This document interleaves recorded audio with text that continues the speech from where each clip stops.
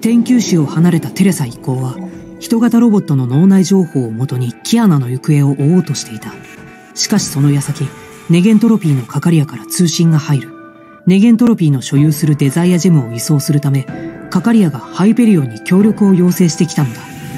だがその通信中に死んだはずのハイヘビが人型ロボットを介しハイペリオンのシステムを掌握してしまう。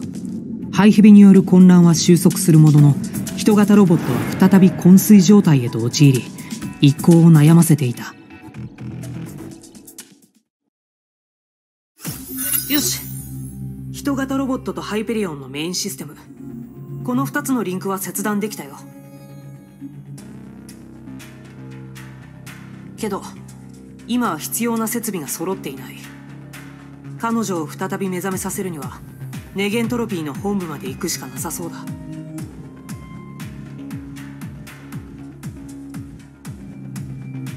でもカカリアはどうするの？彼女の話だと天命がデザイアジェムを奪うために多くの部隊を出撃させてるのよ。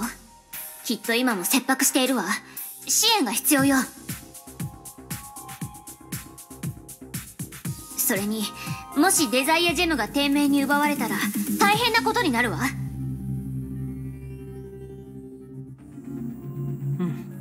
そうだ。実はさっきテレサさんとこの件について話し合ったんだ。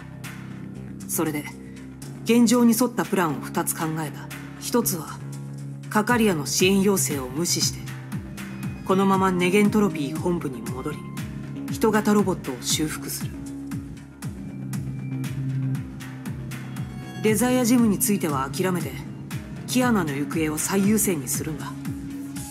全員が共に行動することでリスクを最小限に抑えることができる。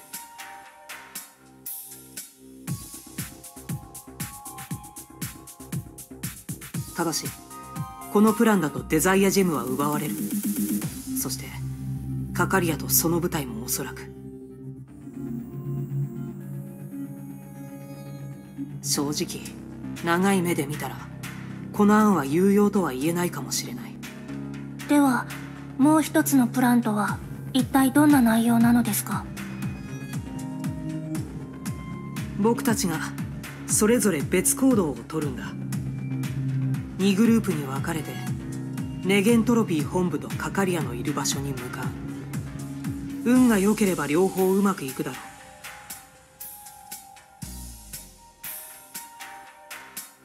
う。もちろん括弧撃破されて全てを失うリスクもあるけどね。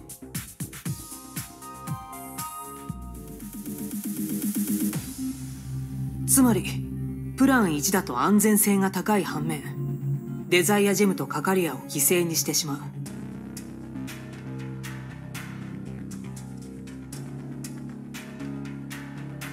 プラン2だと危険性は高いが長い目で見るとメリットがある。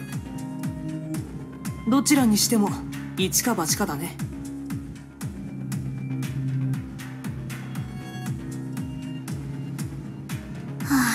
厄介ね。どちらのプランがいいか公平に投票で決めようと思う。みんなよく考えてくれ。5分後に投票を始めよう。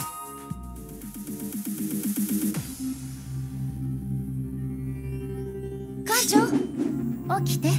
元気出してください。ちょっと不安かも。館長次の目標は何です人型ロボットとデザイアジェム。どちらも失うことはできないわ。難しい選択ね。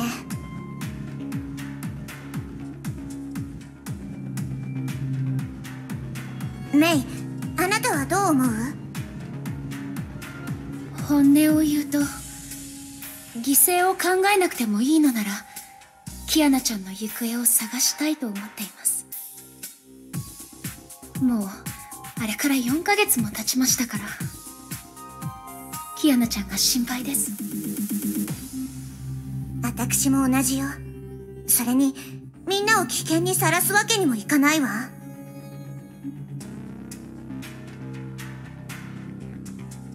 プラン1を選ぶしかなさそうね。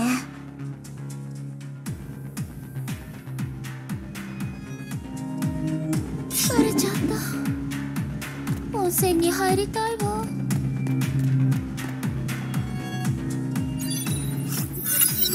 テスラさんはどう思いますか？悩んでるわ。ボサ頭の言う通り別行動は全てを失うリスクがあるわ。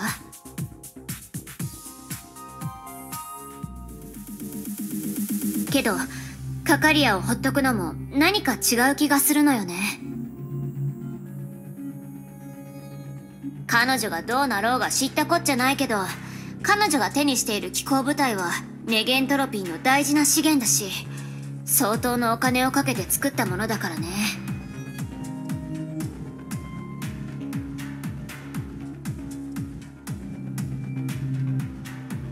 あれほどの兵力を一気に失うなんて損失が大きすぎるわ。それにカカリアはあの子のお母さんでしょ？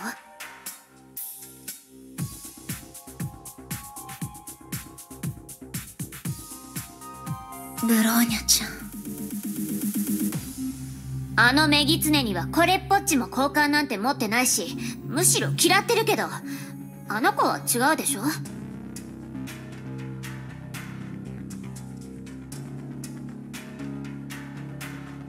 ああもうどうればいいの？館長起きて。元気出してください。アインシュタインさんあなたはどう考えているのですか？僕はプラン1を選ぶよ。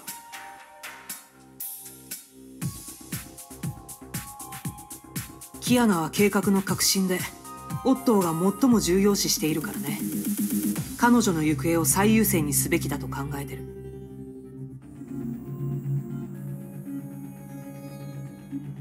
それにカカリアは信用するに値しない人物だ。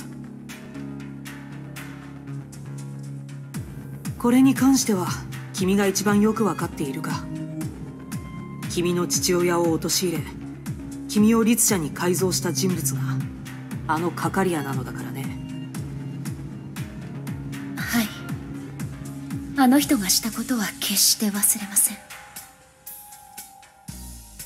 ただ正直に言うとプラン1も完璧とは言えないんだ。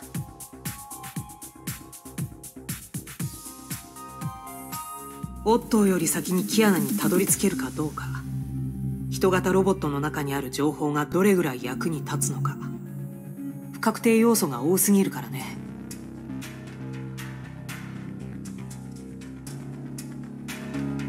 館長と一緒にいると安心します。館長次の目標は何ですか？ブローニャちゃんはどうするか決めた。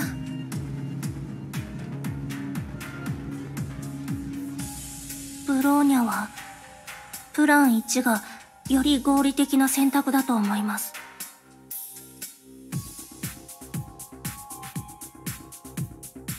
でもそしたらお母さんは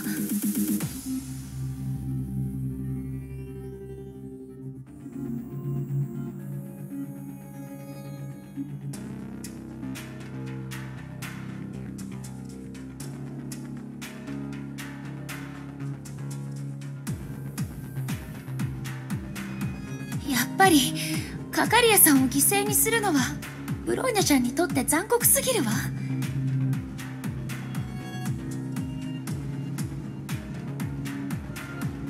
もし心に引っかかりがあるのなら自分の気持ちに正直になってみて。アインシュタインさんも言ってたでしょ。よく考えてって。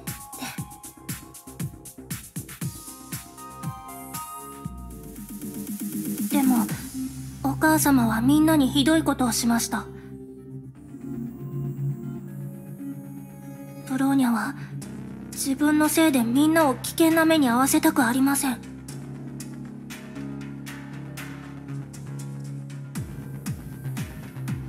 みんなを信じて？ブローニャちゃんも本心で選ばないと。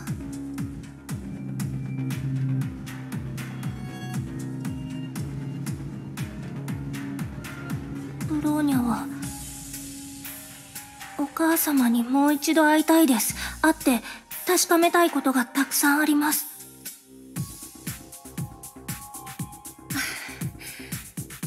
私もブローニャちゃんと同じよ。決着をつけたいことがたくさん残ってるの。会えないと困るわ。ありがとうございますメイ姉様さんいたんですか？もしかして私たちの会話聞いてました？そそんなことしないわよ。盗み聞きなんてするわけないでしょ？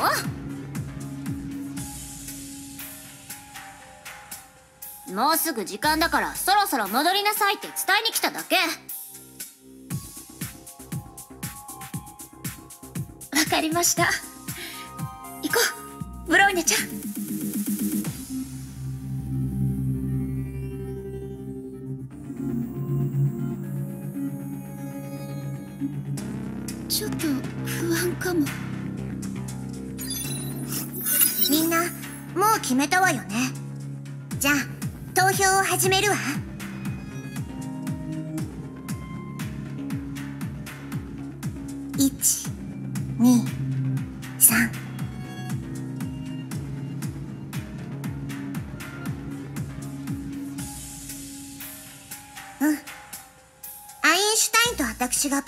プラン1メイとブローニャそれにテスラがプラン2ね。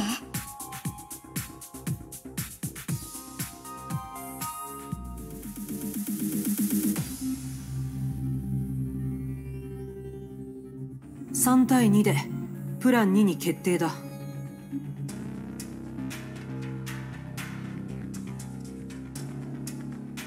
それじゃあここからは別行動ねテレサさんと話し合った時プラン2になった場合の組み合わせも考えておいたんだ。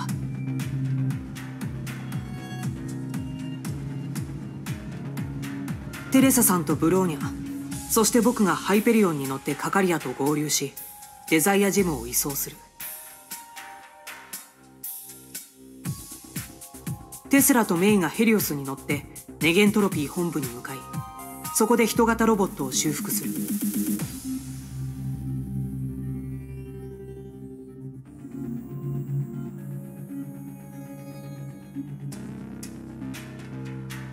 の状況を見て判断したんだけど問題ないかな？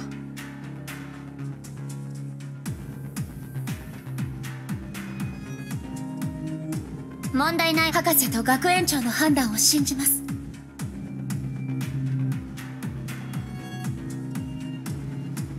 ブローニャも意見はありません。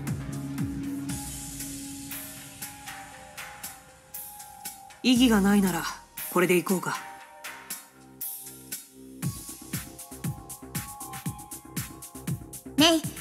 つけて。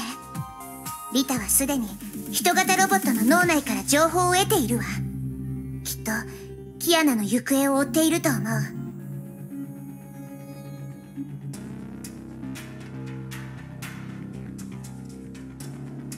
鉢合わせする可能性があるわ。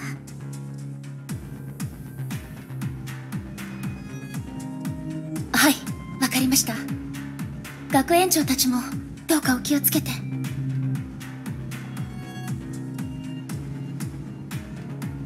ちゃんもあまり無理しないでね。はい。メイ姉様ありがとうございます。ヘリオス号は軌道に乗ったわ。いつでも飛べるわよ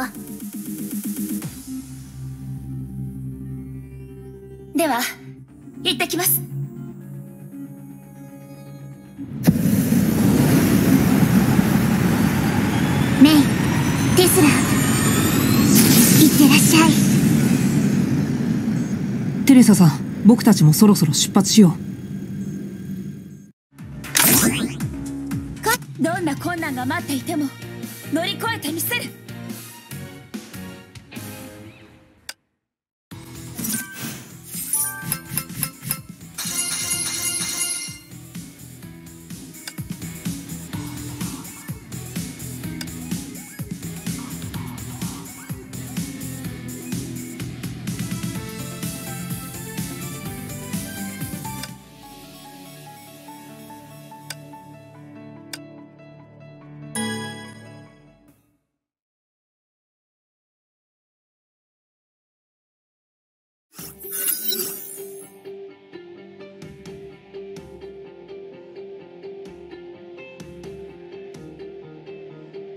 サさん。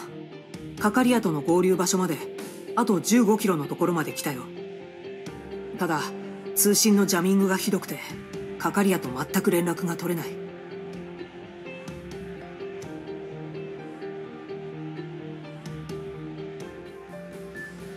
ジャミングの原因はわかるかしら？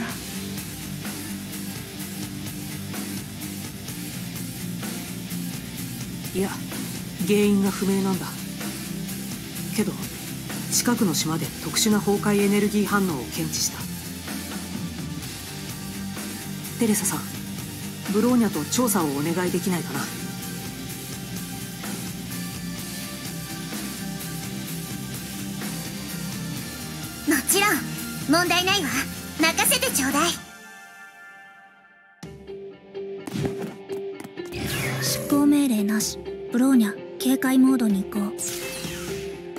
装置初期化完了目標細めファイヤー。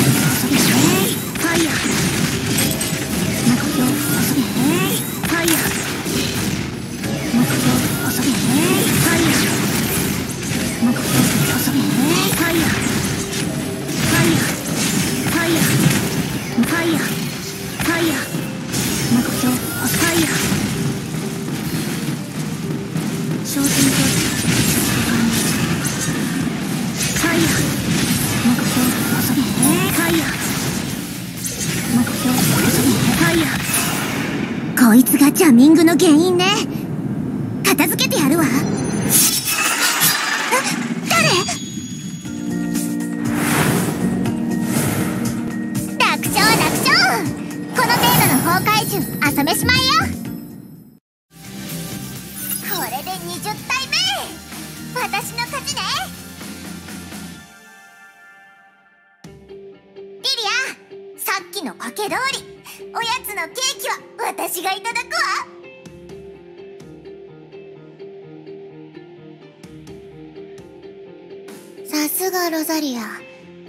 短時間で崩壊獣を20体も倒すなんて乾杯よ。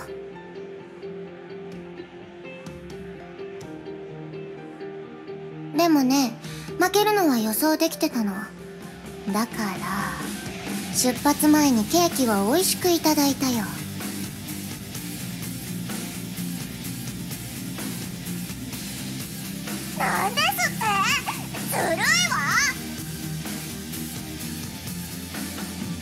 が2人？どうしてこんなところに？あれはもしかしてロザリアとリリアですか？ん？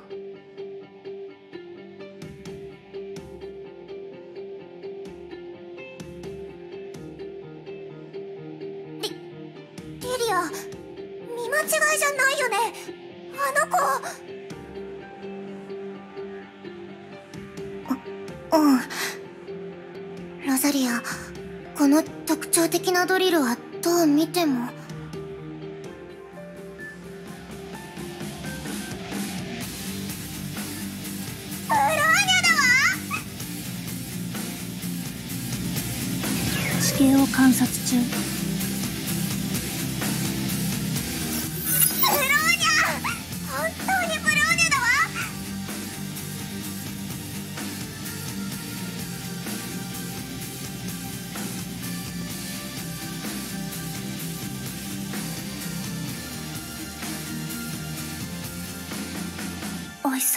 です。ロサリア、リリア。大きくなりましたね。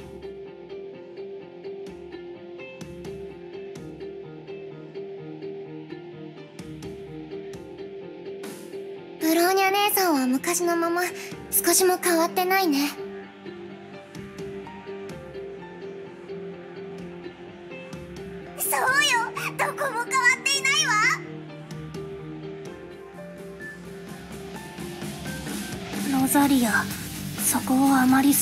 ないでください。どうしてここに？最初2人だと気づきませんでした。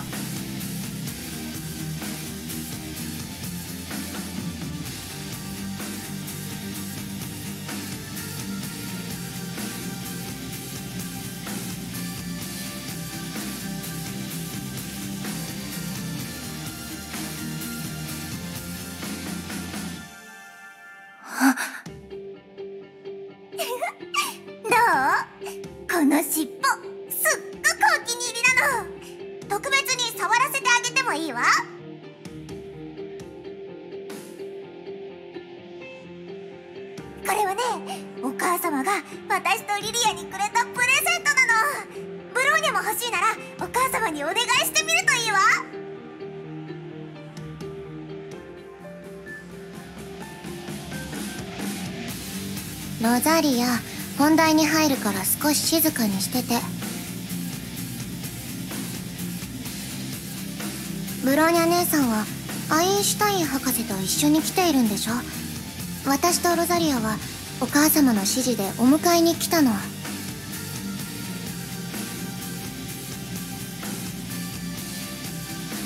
連絡が取れなかったからどうしようかと思ってたんだけど。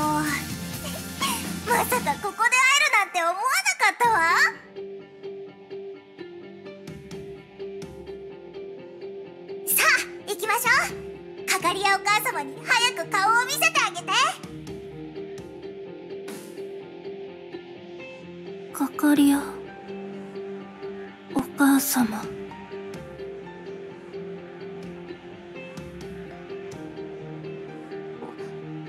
ブローニャ？大丈夫です。少し待っていてください。ブローニャの仲間を呼んできます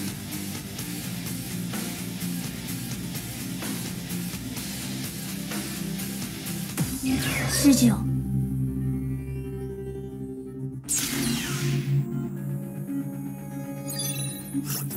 の二人とは知り合いなの？はい。ブローニャが孤児院にいた頃の友達でロザリアとリリアです。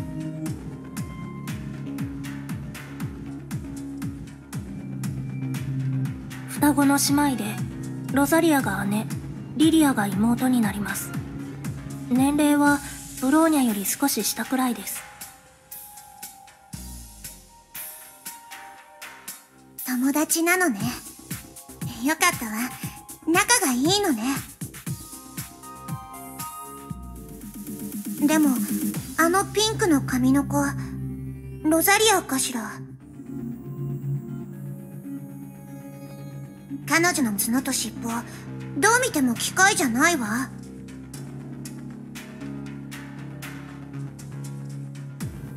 あの質感崩壊獣のものね。一体どういうことかしら？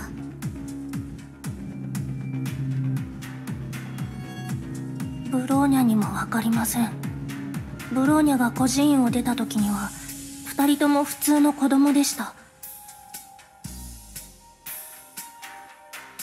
ロザリアリリアあれから一体何があったのでしょ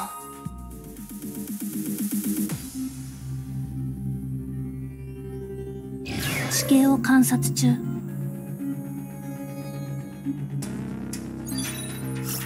あの二人カカリアの部隊の戦士だね。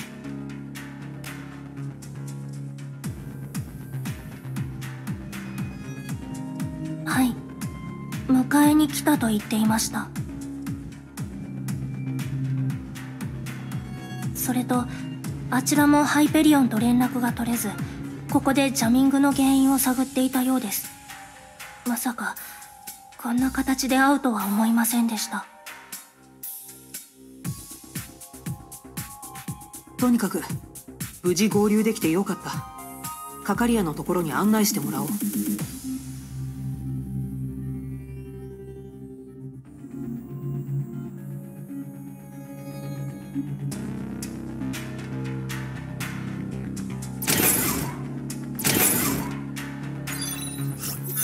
ザリアリリア状況をみんなに説明しましたカカリアお母様のもとに案内をお願いできますか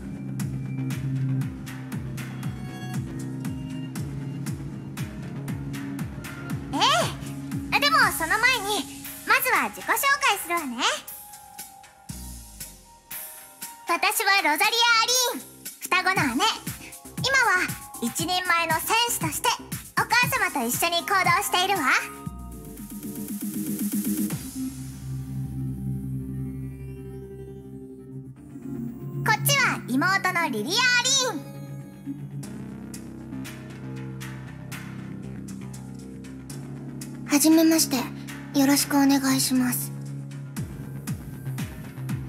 ロザリアはバカだから何か気に障るようなことをするかもしれません。でもそれはロザリア個人の行動であってリリアとは関係ないから責めないでください。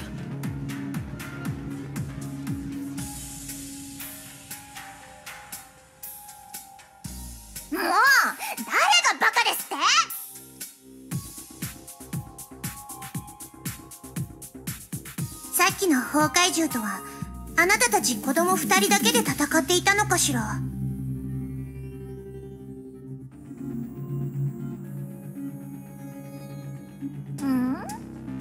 お嬢ちゃん誰が子供ですって？もう大人子供扱いすると痛い目に遭うよ。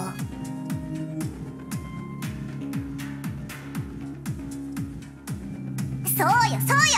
私とリリアの体内にはそれぞれ崩壊獣が1体ずつ入っているんだからね。私たちすごいのよ。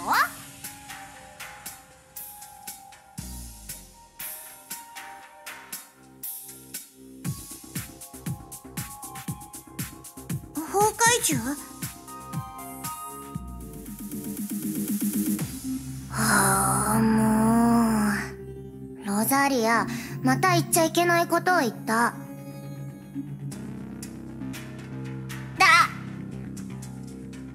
お母様に言いつける。尻尾を引っ張ってもらうよ。ややめて。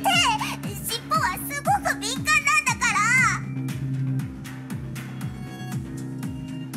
ら。ごめんなさい。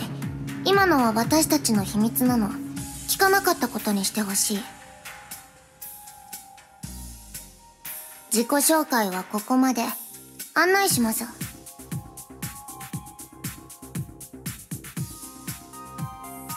目的地は？海炎城です。詳細座標はご存知ですよね。アインシュタイン博士。あ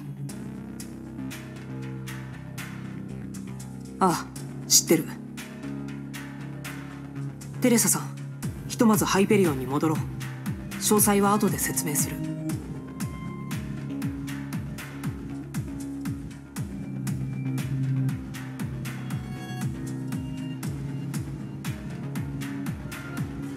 これからネゲントロピーが保護している全文明の遺跡海炎城に向か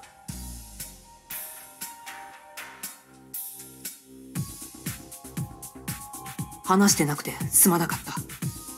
隠すつもりはなかったんだ。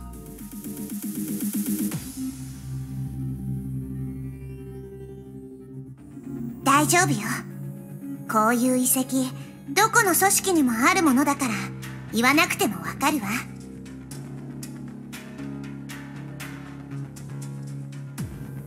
それでどこの島に行くのかしら？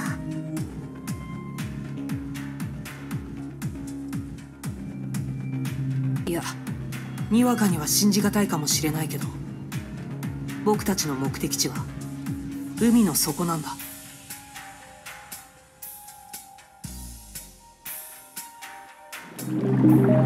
北緯11度20.9分統計142度11.5分。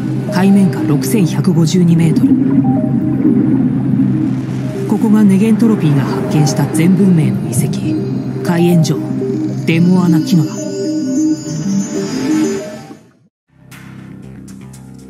敵全員沈黙。これより帰還。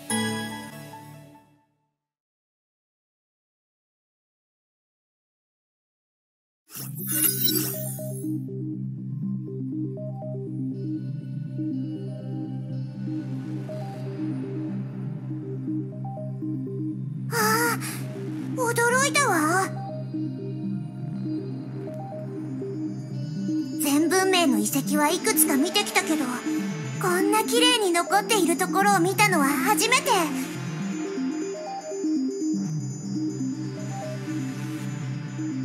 海底で眠っていたおかげだね。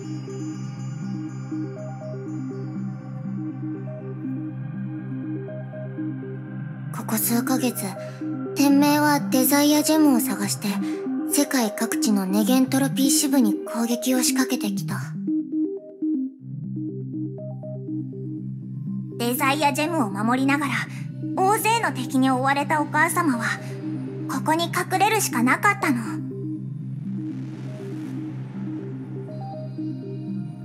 一箇所にとどまるのはあまり得策とは言えないわね。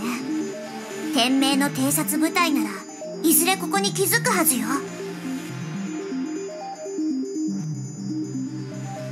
いやもうすでに気づいているみたいだ。海炎上で大規模な戦闘反応を捕捉した。戦術機構とバルキリー部隊が交戦中だ。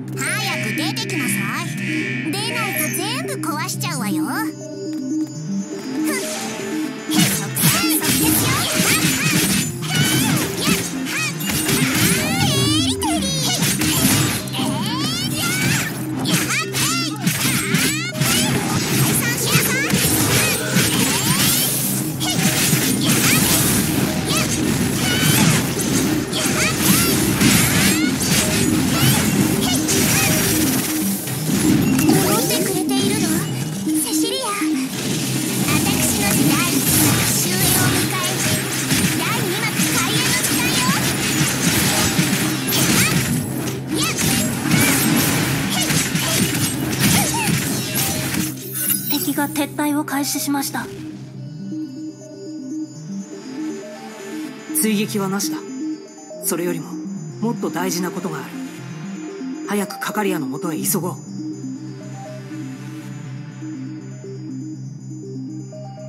あらお気遣い感謝するわ博士。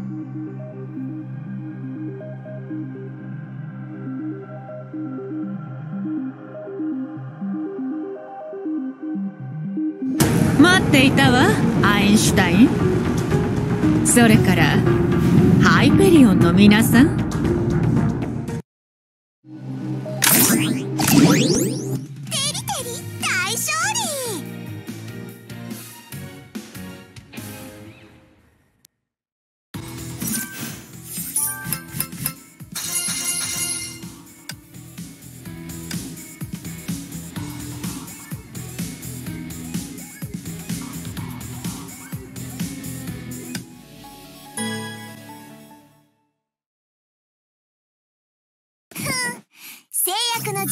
っていたわアインシュタイン博士そし。てハイペリオンの皆さん。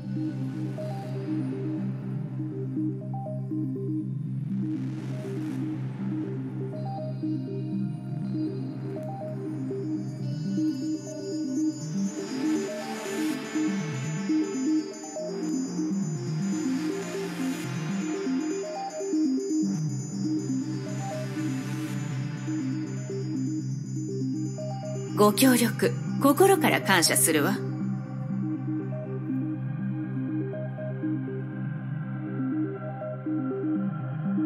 思ってもないことは言わなくていいよカカリアさん。それよりも本題に入らせてもらう。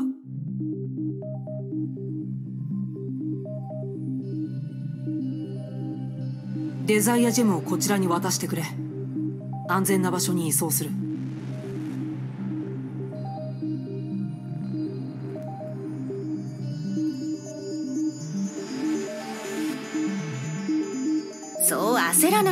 インシュタイン博士。天命がここに気づいたのを見たでしょ？ゆっくりと反撃の策を練りましょう。悪いけど時間がないんだ。デザイアジェム以外のことに関わる余裕はない。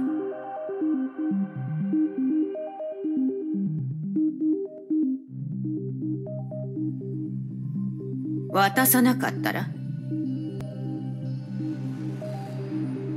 敵はさっきの奴らだけじゃなくなる。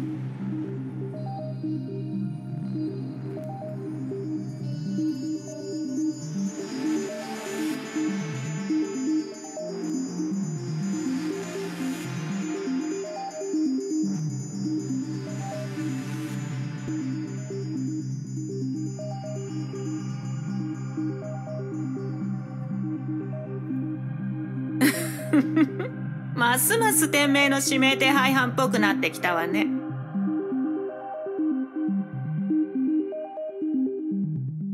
私たちはデザイアジェムのために来たの。デザイアジェムをこちらに渡せば天命も自然と矛先を私たちに向けるようになるわ。そしたらあなたたちも撤退する時間を確保できるでしょそれでも応じないなら何か企んでいるとしか思えないわ。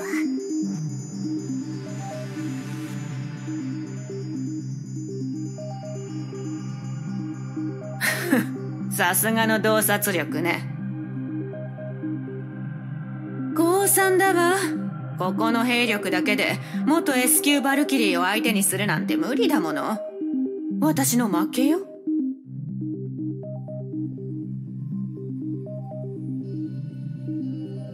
デザイアジェムは海援城の中よ。取ってくればいいわ。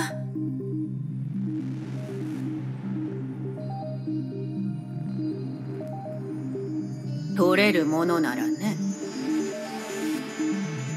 どういう意味だ？アインシュタイン博士この世の中何が起こるかは誰にも予測できないのょっとしたアクシデントのせいでデザイアジェムが漁師の海へと落ちてしまったのよ。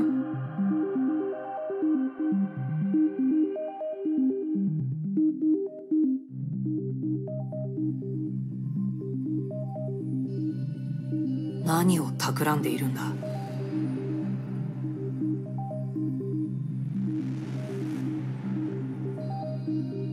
だからただのアクシデントよ企んでなんかないわ。取ってくればいいだけでしょ？あなたならできると信じているわ。アインシュタイン博士。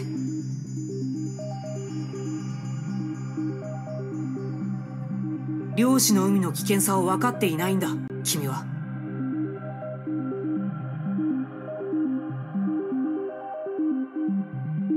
分かってるわ。だから協力を要請したの。デザイアジェムを取り戻せるのはきっとあなただけだから。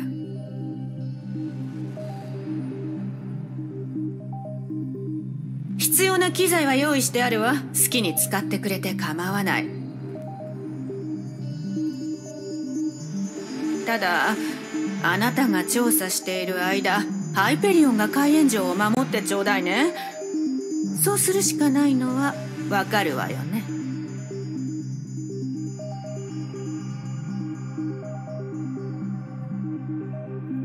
わかりましたね。プローニャたちを代わりに戦わせるよう。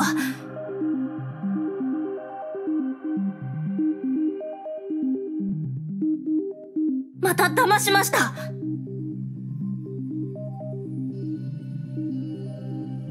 落ち着いてブローニャ感情に流されないように。部隊が安全に撤退できるようにしただけよ。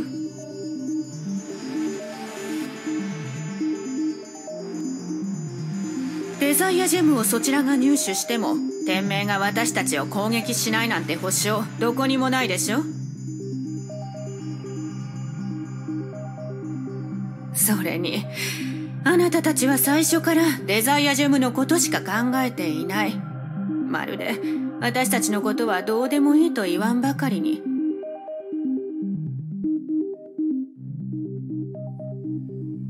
言ったはずよ。これは互いに利益をもたらすための協力。天命こそが私たちの共通の敵なの。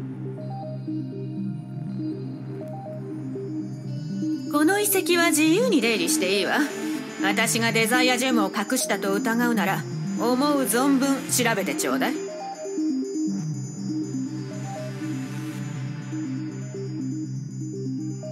気持ちよく協力し合いましょう。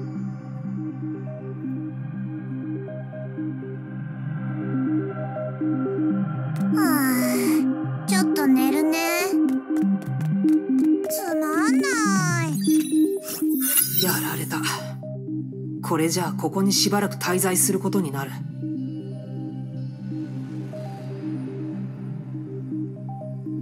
カカリアがこんなことをするなんて僕がもっと慎重に考えていれば。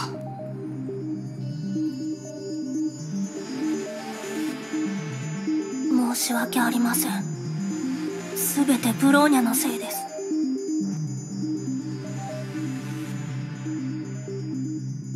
これは投票の結果で君のせいじゃないよブローニャ。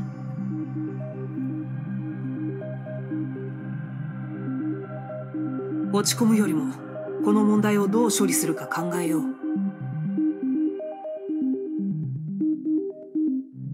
博士カカリアが言っていた漁師の海って一体どんなところなの？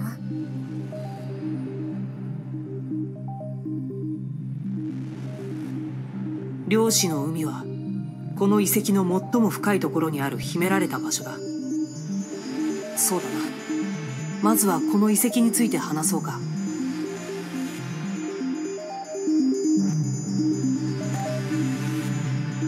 つまんない。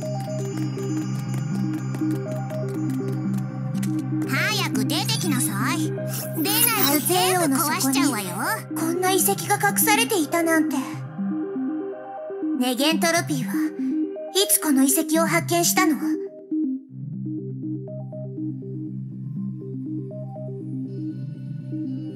そんなに時間は経っていないよ。数年前のことだ。第二次崩壊の時月からの隕石が太平洋に落ちてね。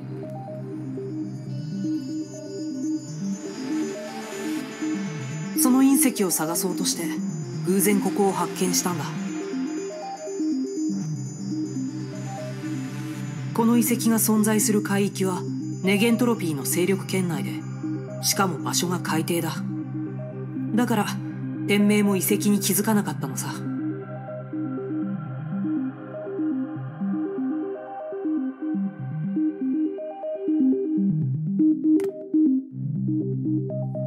う少し人がいればピクニックができるわね。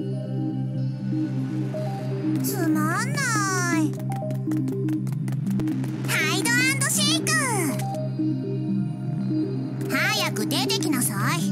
出ないと全部壊しちゃうわよ。遺跡の中のこの文字。これは全文明起源で使われていた世界共通語だ。元はムー大陸と呼ばれる大陸内で使われていた文字で。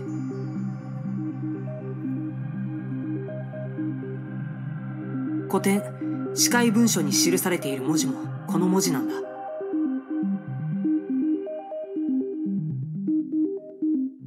視界文書。確か視界沿岸で発見された古の写し本ですね。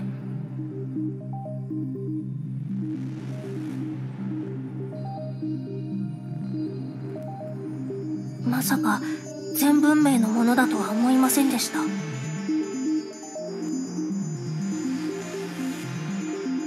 視界文書はムーンライトスローン理論の元になった文献なんだ。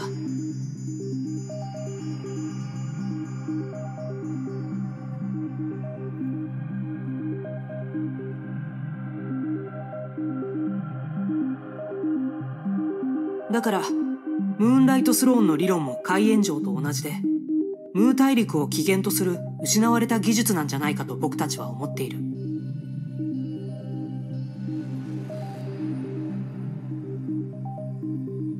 まだ確証はつかめていないけどね。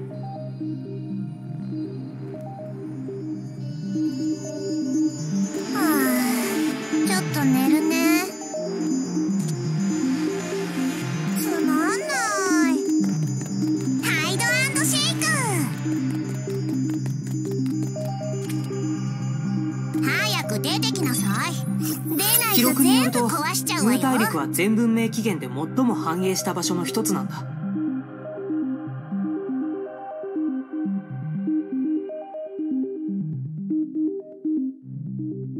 技術レベルは世界トップクラス。住人も世界総人口の6分の1を占めていたらしい。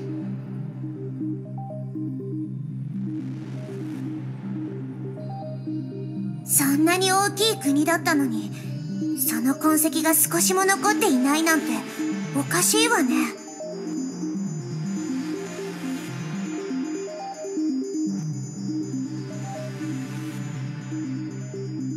そう。それは最悪な形で終焉を迎えたからなんだ。全文明起源の第九律者岩の律者。彼女が疑似的な巨大ブラックホールを作りこの大陸の全てを飲み込んだんだ。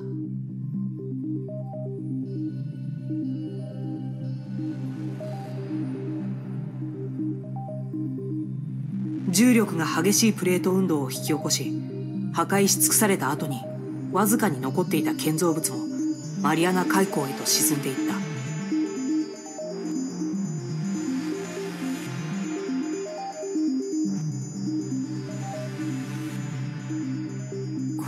大陸がいとも簡単に消えてしまうだなんてブローニャには想像できません。何が起こったのか僕には推測しかできないけど。その結果が今僕たちの目の前にある。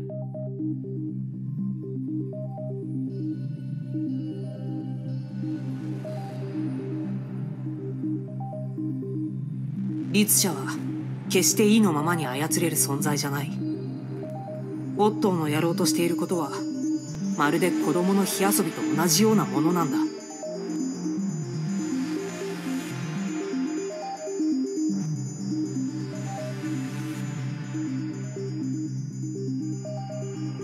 ええ。おじい様の計画を止めるためにも必ずデザイアジェムを手に入れないといけないわね。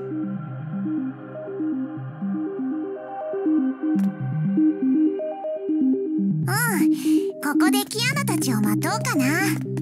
ブローニャ作戦地点に到着。ブローニャびっくりした？個人と全然違うでしょ。こんなに大きな海底庭園があるんだもの。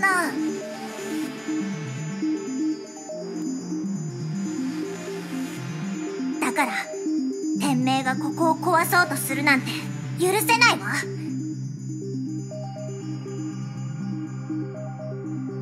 海炎城の損害状況を調べるようにお母様に頼まれたの。ブローニャ姉さん手伝ってもらえないかな？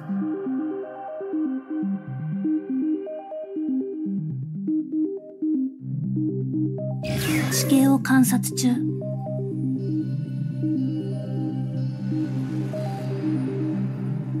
目標発見目標細えいファイヤー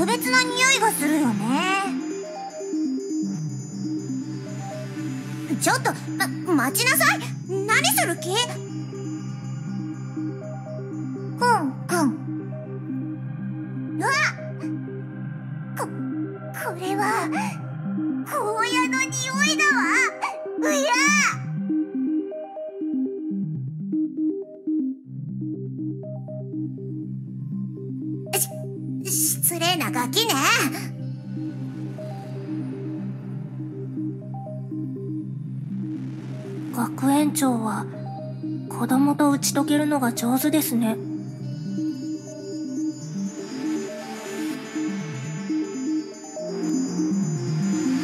執行命令なし。ブローニャ警戒モードに移行私の番ね。つまんない。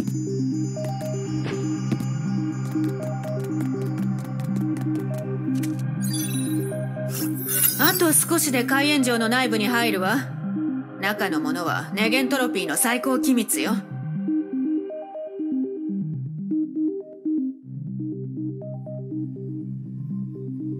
規律上は秘匿しなきゃいけないものだけど今さら隠す必要もないわね。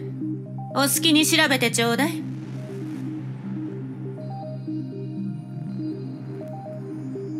では幸運を祈るわ。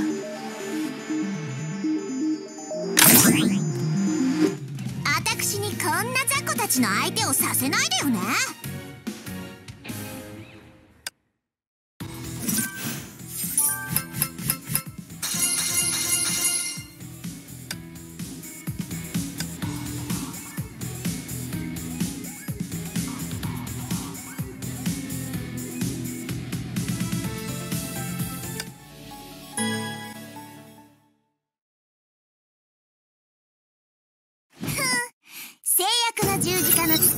を知っているかしら？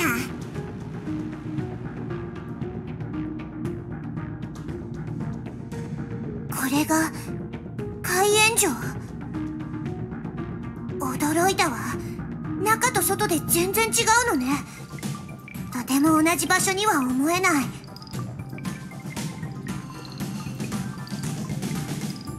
あれ？なんだか頭がクラクラするわね。全文明起源の遺跡だということを考慮してもあまりに独特です。博士漁師の海とは一体どういうところなのですか？うん。宇宙にある全てのものは量子によって構築されているんだけどその量子には不確定性があるんだ。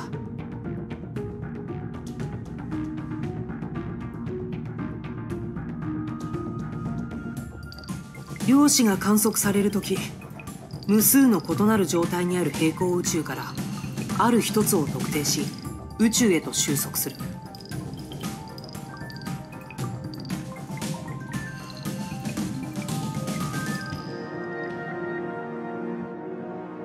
これが量子力学の中でも有名な多世界解釈なんだ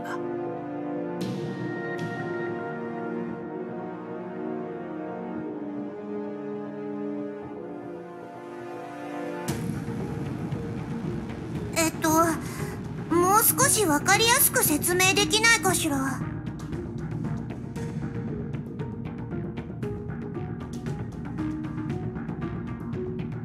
いいよ。例を挙げよう。僕たちの宇宙をコップに入った一杯の水としよう。その周りには似ているけど違う一杯の水が無数にある。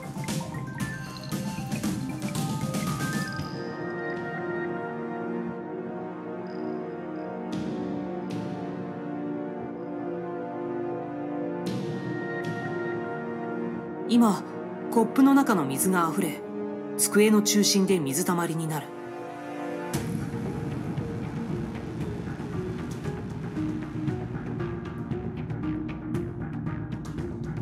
この水たまりはどのコップにも属さないけど水たまりの水は全てのコップから来ているかもしれない。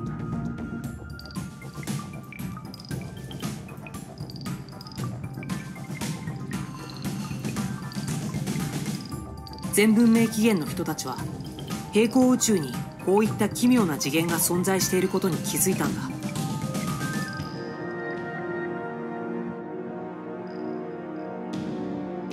彼らはこのコップの間の水たまりを漁師の海と呼んでいた。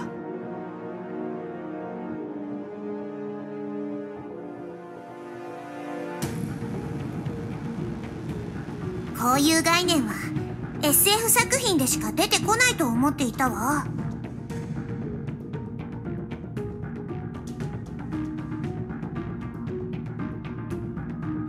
確かに信じられません。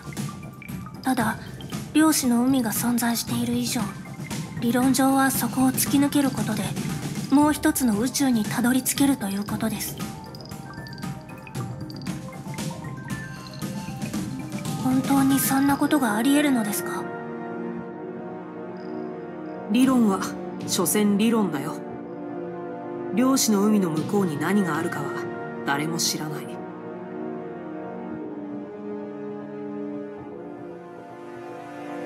それに漁師の海に入ること自体極めて困難なんだ。海炎城の資料によると全文明の人たちは無数の実験を繰り返し最後の最後でやっと漁師の海へとつながる扉を作り出せたらしい。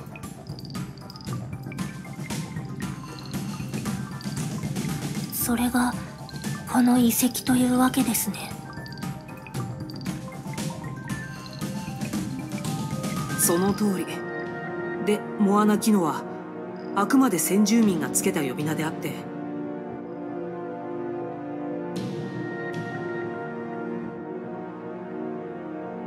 事実上は都市でも要塞でもない。これは漁師の海につながる巨大な転送ゲートなんだ。この転送ゲートの名前を開園の目という。今私たちがいる場所ね。ここへ来てからどうも調子が悪いと思っていたけどそれで納得したわ。ここが漁師の海への入り口だからなのね。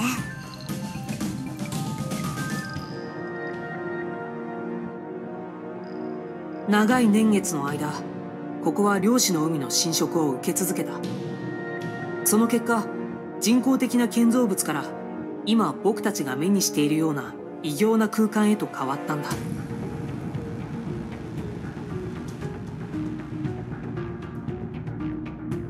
そして僕たちは1年ほど前に漁師の海を探索しようとある計画を実行した。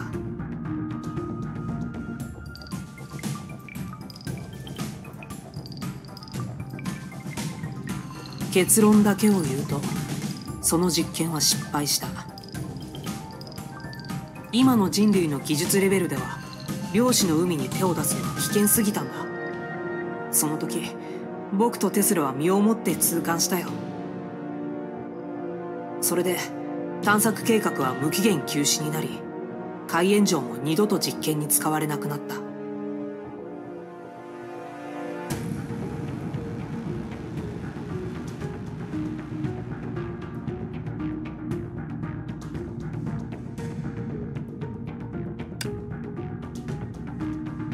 けどまさかまたここに来ることになるとは思わなかった。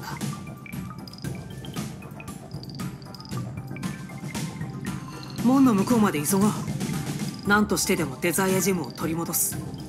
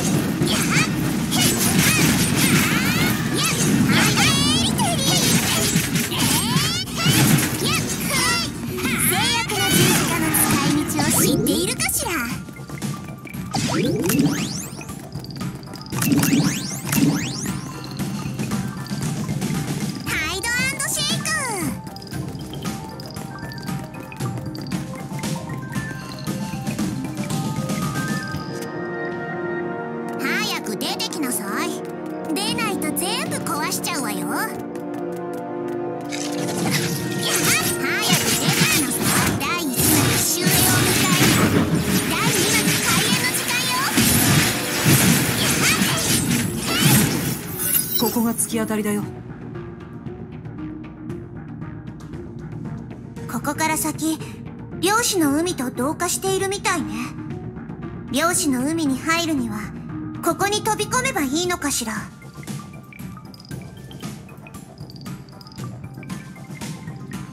博士漁師の海に入る人選についてですが。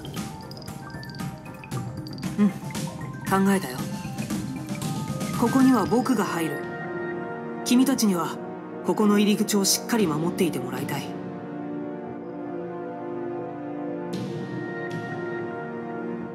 転送ゲートが開く時開園の目が巨大な波動エネルギーを発生させ付近の崩壊獣を引き寄せる。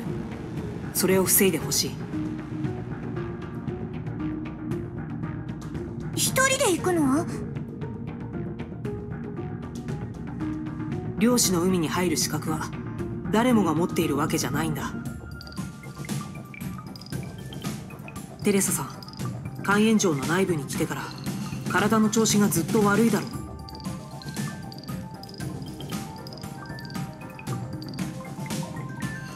そうね。戦闘に支障が出るほどではないけれど。それが漁師の海に拒絶される人の症状だ。症状は人によって異なるけど中には気絶する者もいるほどだ。この環境に適応できるのはごく一部だけだろう。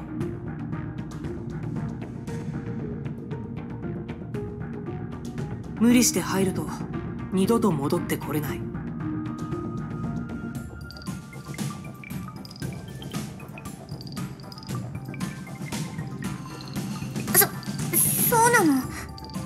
たところブローニャは平気みたいだね。けど実際に入ったらどうなるかはわからない。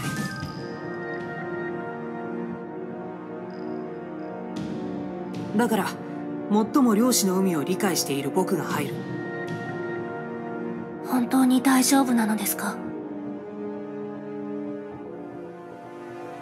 あ信じてくれフィールドワークもそろそろ終わりだ。今日はハイペリオンに戻ろう。これから忙しくなるぞ。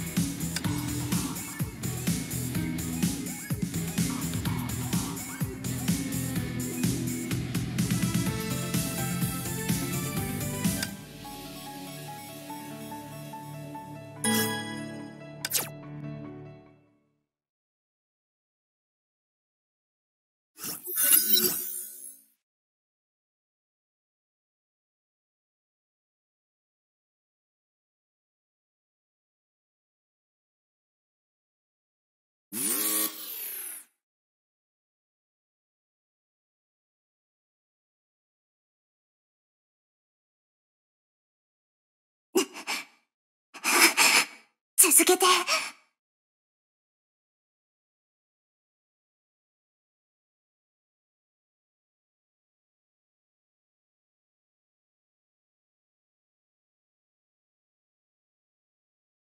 構わないわ。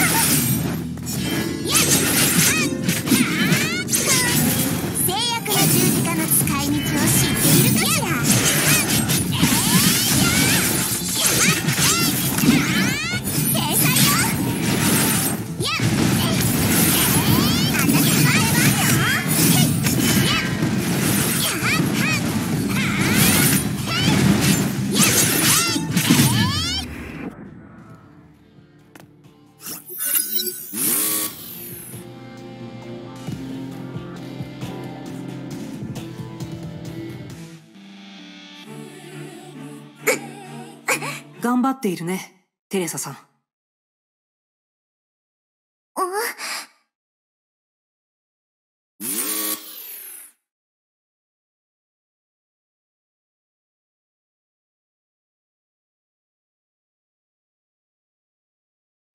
士、まだ起きてたの？普段通りさ。僕がいつも寝る時間はもう少し先だからね。まあ、僕のことは置いといて、テレサさんに用事があってきたんだ。システムが漁師の海の波動状態を調べている間に、テレサさんの依頼を完了させたよ。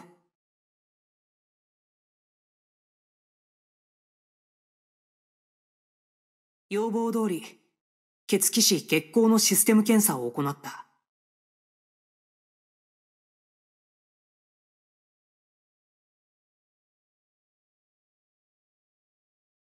その結果、バックドアプログラムは確認できなかったから安心してほしい。店名がそれを使って追跡することは不可能だ。そう、安心したわ。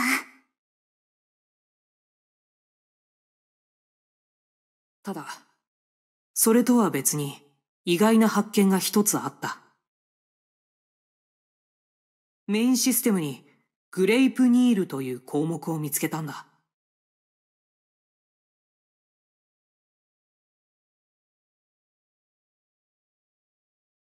んそれは何なのかしら？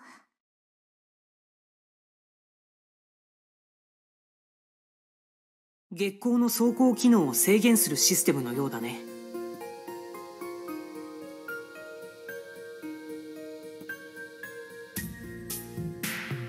うこと？テレサさんは帝王級崩壊獣ビシュヌの DNA を持っているおかげで優れた力と自然治癒力を兼ね備えている。けどこの2つは崩壊獣ビシュヌの本質じゃないんだ。テレサさんよく聞いてほしい。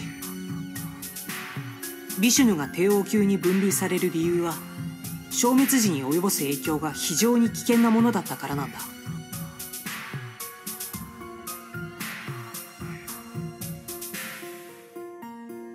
消滅時？それって？ビシュヌは崩壊獣を飲み込んで成長する崩壊獣だ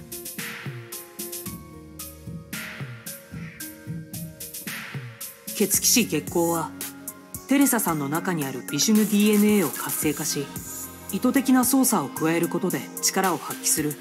神殺し走行なのは知っているね。けどこのグレイプニールというシステムは活性化 DNA の放出速度を大幅に制限しているんだ。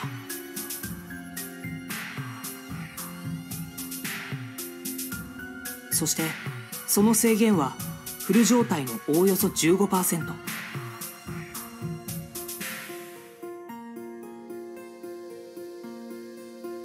た 15%? それじゃ効果がほとんど制限されているじゃない。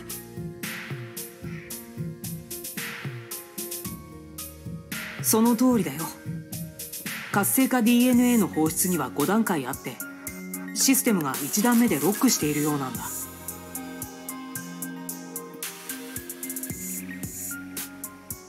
制限というより今の月光はビシュヌを封印するための束縛走行と言っても過言ではないだろうね。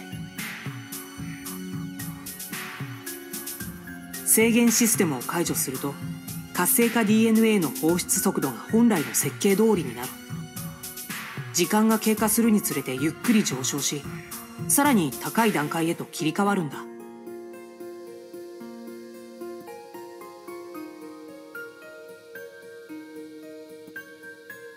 3段目から危険。5段目は禁忌となっている。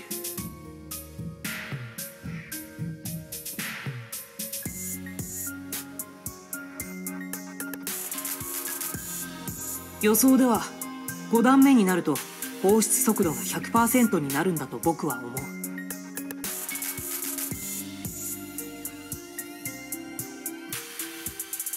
100%になるとどうなるのかしら？それは僕にもわからない。その制限システム解除はできる？いつでも可能だ。テレサさんが覚悟できたらの話だけど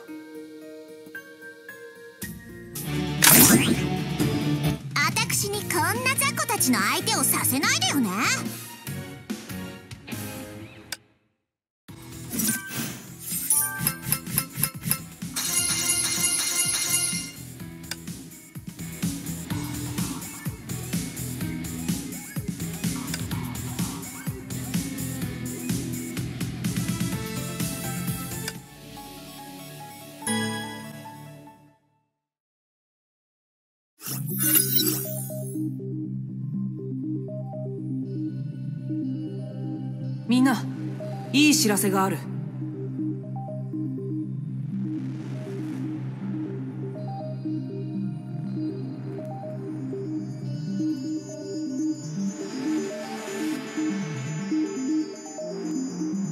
だから今日中にデザイアジェムの場所を特定しなければならない。何かブローニャにも手伝えることはありますか？ブローニャ君は賢いけどコーシーの積分定理はまだわからないだろう。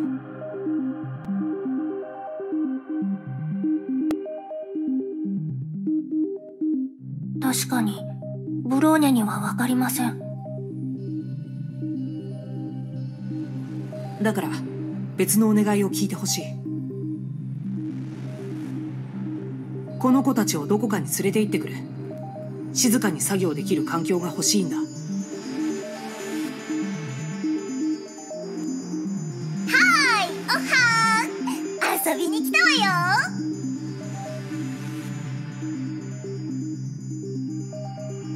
ロザリアもう朝じゃないよ。どうしてカカリアのところじゃなくてこっちにいるんだ？私たちと行動するようにカカリアが指示したそうよ。今敵はいないんだけれどね。ブローニャ少し遊んできてあげなさいロザリアリリア博士の作業を邪魔しないでください。外に行きましょう。やったー！ブローニャと一緒に遊べるわ！何して遊ぼうかしら？かくれんぼはどう今日は3人いるもの！かくれんぼは好きだよ。動かなくて済むからブローニャはあまり好みません。他に選択肢はありますか？うーん。あそうだ。せっかく観客がいるんだから私たちのステージを見てもらうのはどう？ステージ？きっと驚くわ。ブローニャがいなくなった後リリアと偉業を成し遂げたんだ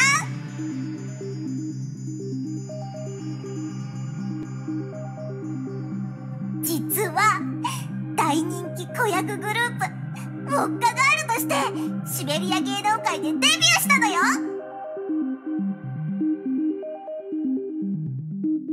かかりや個人限定だけどね。毎年数えきれないほどの公演があって。本当は1回だけ毎回満席で観客はみんな孤児院の子だしね。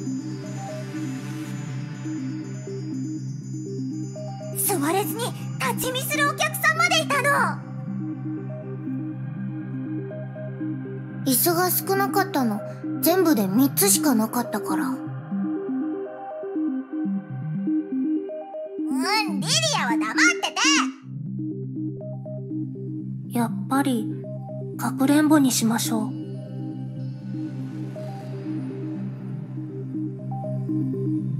執行命令なしブローニャ警戒モードに行こう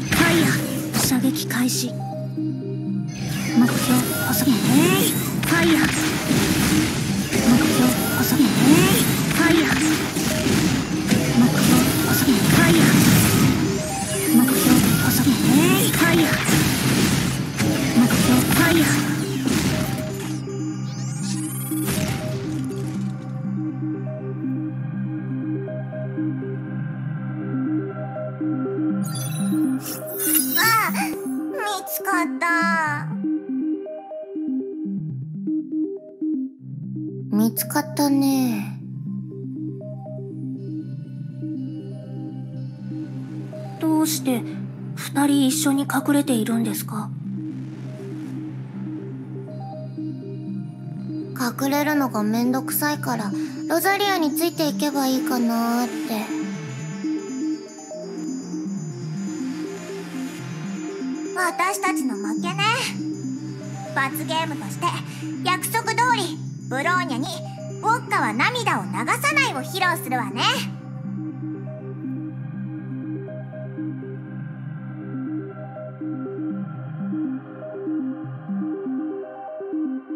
ニャはそんな約束をした覚えありません。脚本はロザリアが書いたよ。字は汚いけどいい話なのは保証するよ。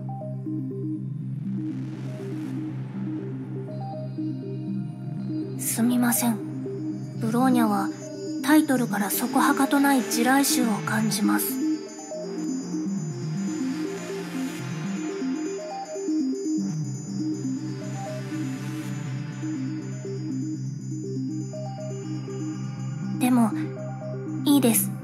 けてください。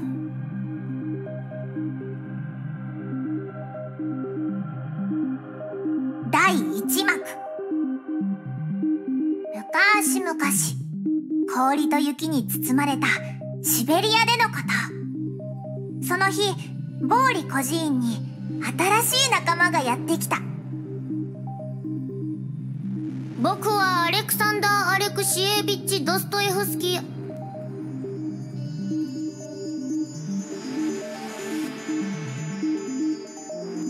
レクセイ・グリゴーリ・エビチ・ドフトエフスキーの4人目の子供だ。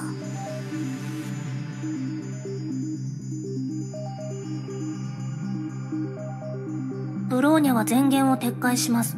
かくれんぼを続けましょう。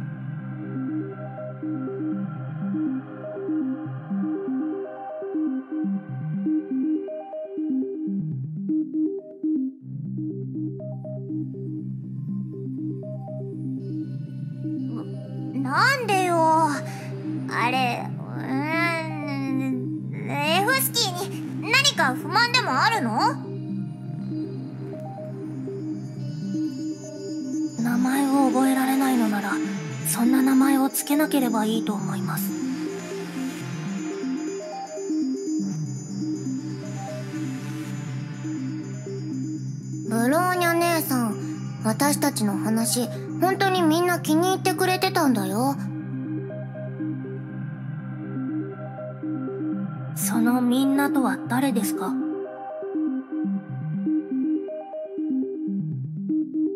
子猫とか子犬とか鳥とか石？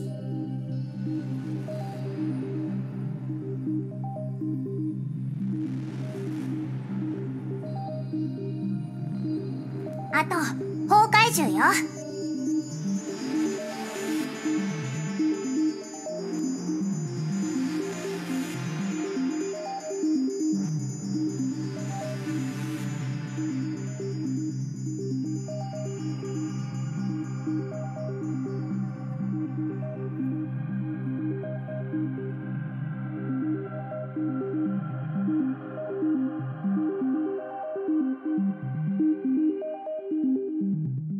久しぶりだわ。こんなに嬉しいの。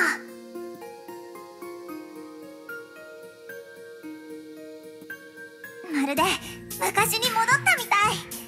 孤児院の広場でみんなで遊んでいた頃に。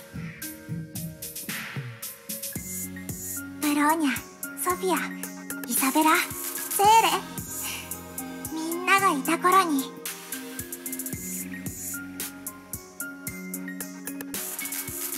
お母様と共に行動している子はあなたたち二人だけなのですか？いろいろあって今は私たち二人だけよ。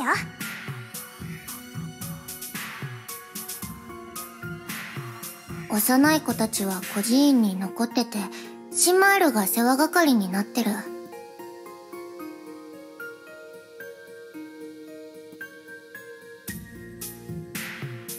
のシンが世話係。ブローニャには想像できません。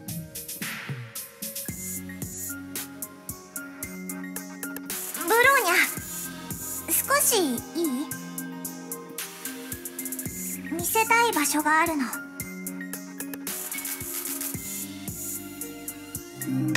地形を観察任務完了。待機モードに移行。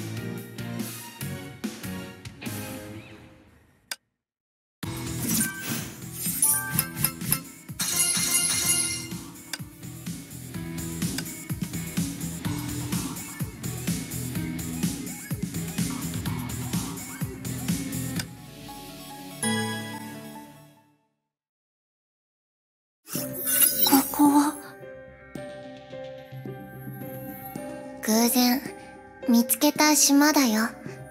海塩城から剥がれ落ちてできたのかもしれない。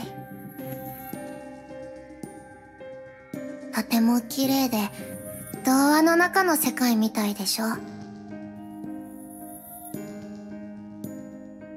4ヶ月間私たちはずっと天命に追われて隠れ続けてきたの。潜伏先は廃墟荒野捨てられた都市ばかり。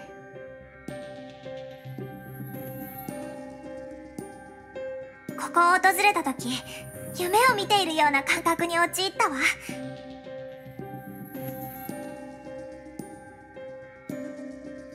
この世界にこんなに綺麗な場所があるなんて想像もしてなかったから。まるで天国みたい。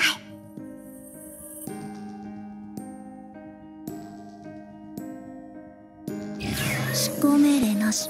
ブローニャ。警戒目標細木えー、ファイヤー目標細木えー、ファイヤー目標細木えー、ファイヤ照準装置目標細木えー、ファイヤー目標ファイヤー目標細木えー、ファイヤー目標ファイヤー目標細木ファイヤー目標細木ファイヤー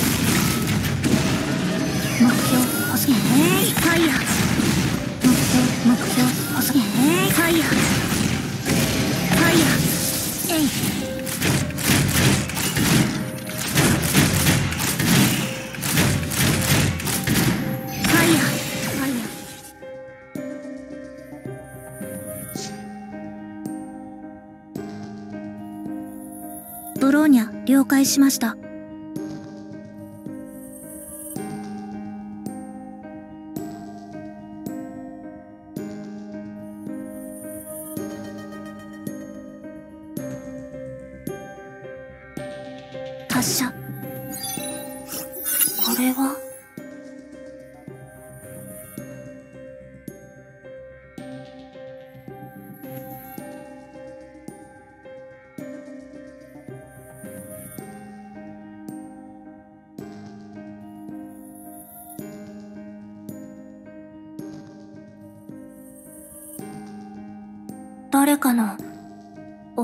ですか？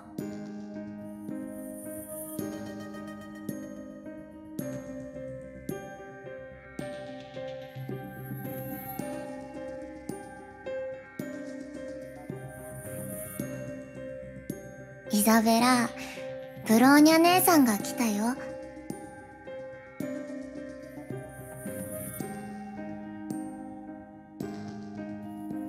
ごめんねブローニャ。内緒にしてて。せっかく再会できたから会わせてあげたかったの。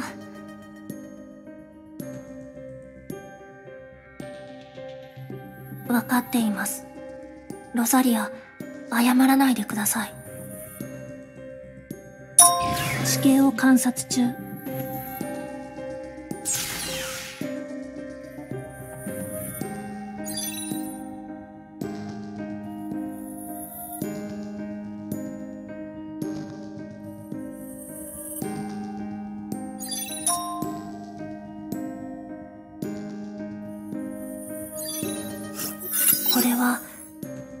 ことですか？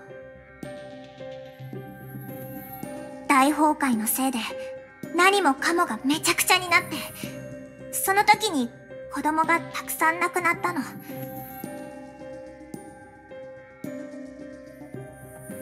天命に追われて逃げ続けて安心して眠る場所すら見つけられなかった。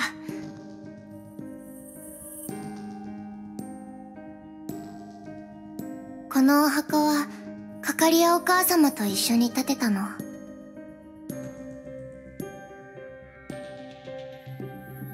この島のことを教えたらお母様も気に入ってくれたから。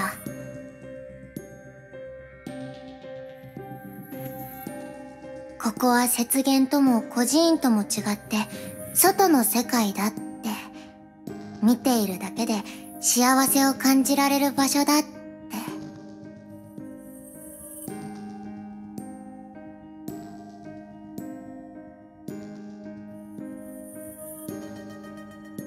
私はこんな景色を見ることなんてできなかったけどここで眠り続けてる限りずっと見ていられる。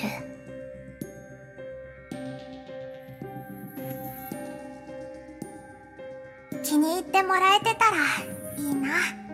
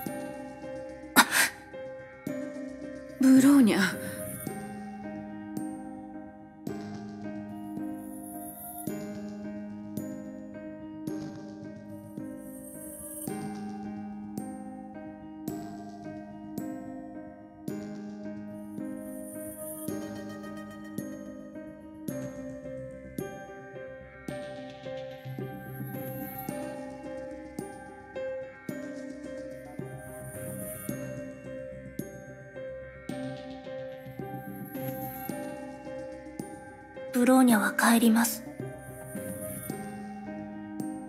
もう少しここにいてくれないブローニャ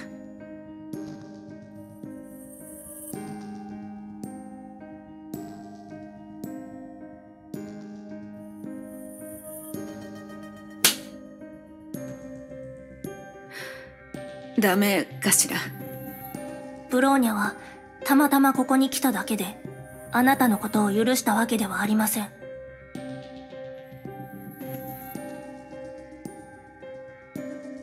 ブローニャ。ブローニャの脳内にあるチップを使ってウェンディとメイ姉様を傷つけました。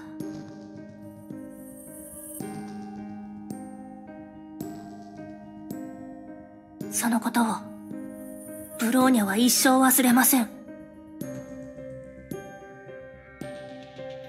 母さんが悪かったわ。リツシャを捕まえる機会を逃したくなかったの。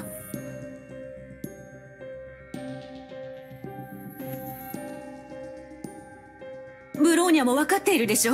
リツシャの研究がうまくいけば。ブローニャには分かりません。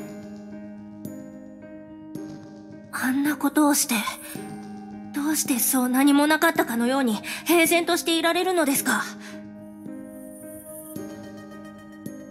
ーニャには全く分かりません。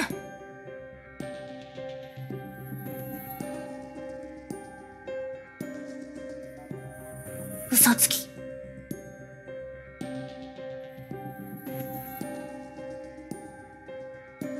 そうだと思うのならそれでいいわ。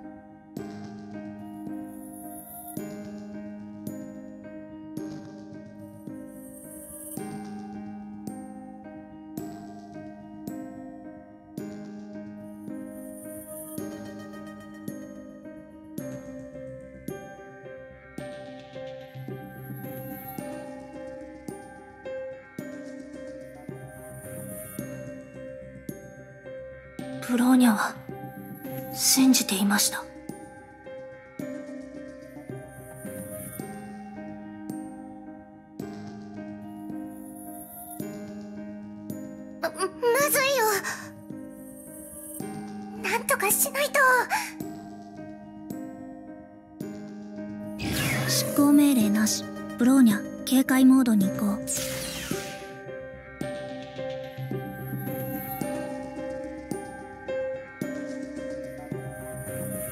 イエスマスター。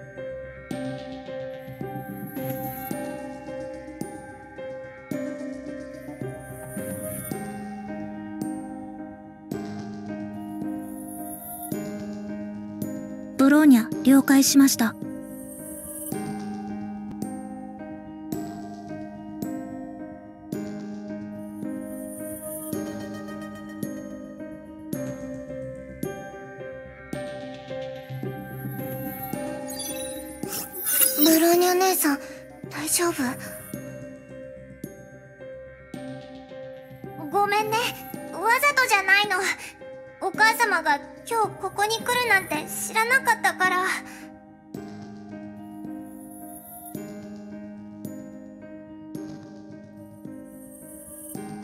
丈夫です。ブローニャは二人のせいだと思っていません。ブローニャとお母様のことは気にしないでください。もうすぐ夜になります。帰りましょう。うん明日デザイアジェムを回収するときリリアと一緒にお手伝いするわ。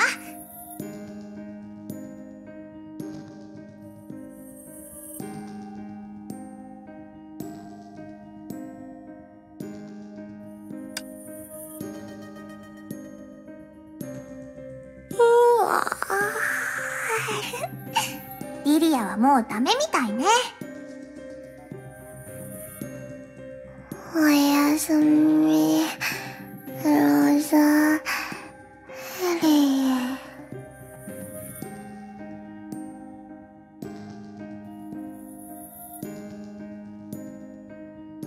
どうしたのですか？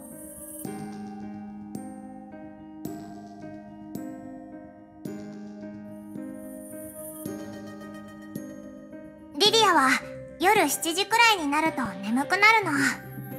この子、いくつになっても子供だから。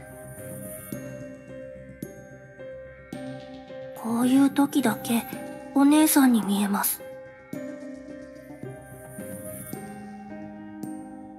殴るわよ。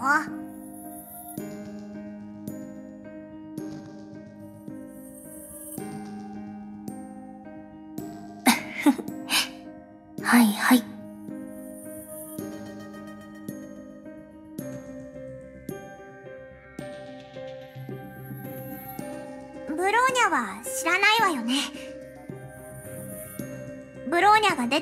後、海辺で病気のリリアを今みたいにおぶっていたことがあったの。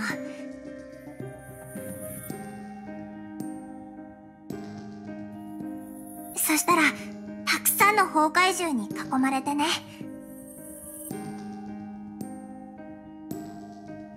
そんなことが。それで、ひどい怪我を負ったわ。お母様が駆けつけてきてくれた時の表情、今でも忘れられない。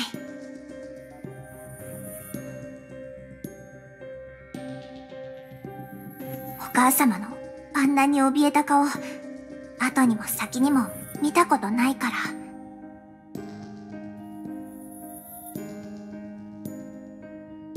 ロザリア。あと少し遅かったら、二度とブローニャにも会えなくなってた。お母様がね、助けてくれたの。不思議なお医者様を探して治してくれたわ。角と尻尾が生えてきて、体は以前よりも軽くなったわ。あれほど怖かったゾンビや崩壊獣も、今じゃ相手にならないもの。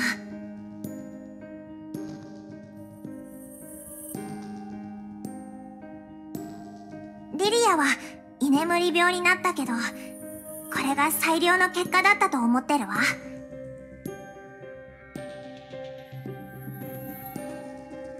私もリリアも分かってる。お母様がした実験は、ブローニャに辛い思いをたくさん与えたこと。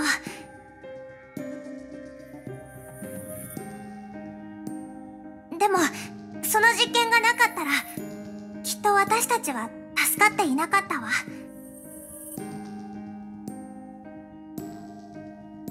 大丈夫です。わかっています。ゼーレとブローニャがいなくなった後、お母様はよく自分の部屋に閉じこもるようになったわ。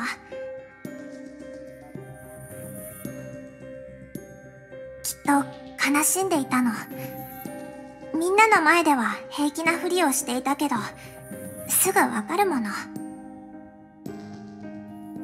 後悔していると思うわ。あなたたちをあれほど大事にしていたから。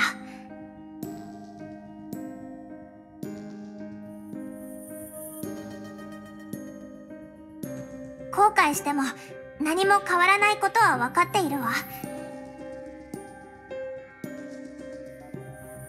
でも、お母様のそばには誰かがいてあげないと。だから、私とリリアは残ったの。もっとお母様の力になれれば、孤児院のみんなも助けられて、リリアの病気も治るかもしれない。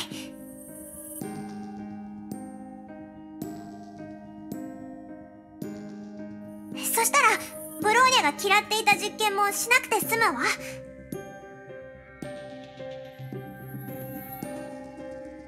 昔はブローニャとお母様に守られてばかりだったけど、今なら私もリリアも一緒に戦える。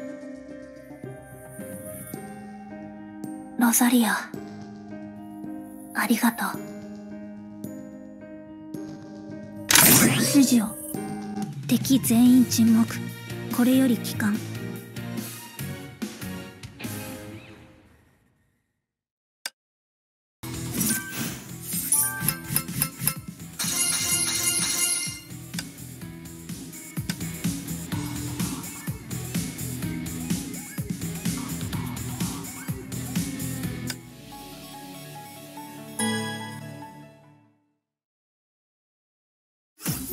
やっと帰ってきたね、ブローニャ。昔の友達とは楽しめたかい？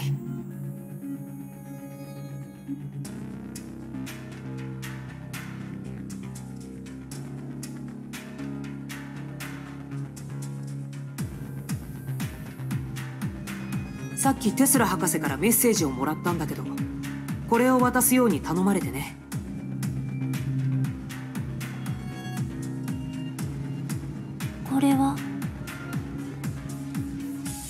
スラ博士がメイのバトルスーツを作った時君のデータを元にもう一着作ったんだ。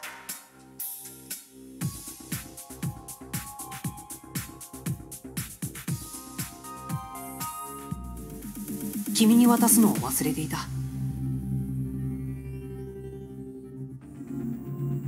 このバトルスーツは、うん、もう少し調整が必要だな。今からしよう。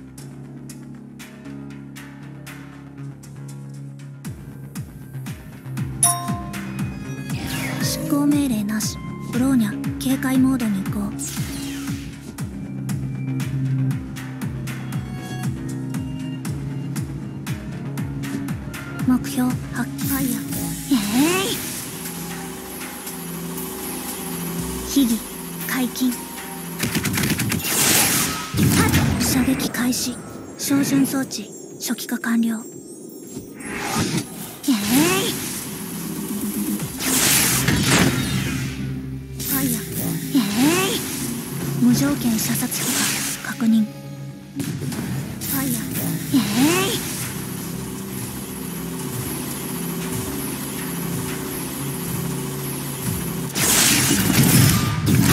ァイヤー。ファイヤー。ファイヤー。調整は順調だ。実戦に投入しても問題ないと思う。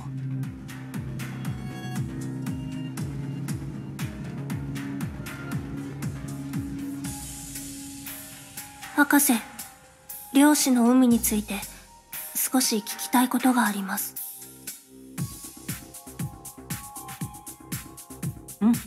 何を聞きたいんだい？ハイヘビがハイペリオンのメインシステムに侵入した時ブローニャは実験記録を見ました。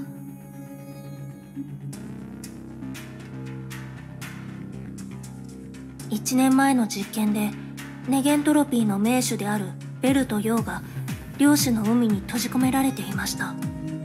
これは真実ですか？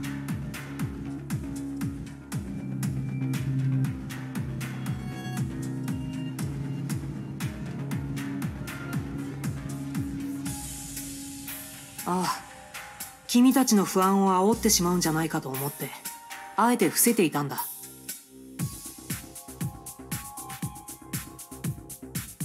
彼は自らあそこにいることを選択した。1年前漁師の海の探査実験を行った際僕たちはある存在を驚かせてしまったんだ。それのせいで実験は失敗し僕とベルトは海縁の目に吸い込まれた。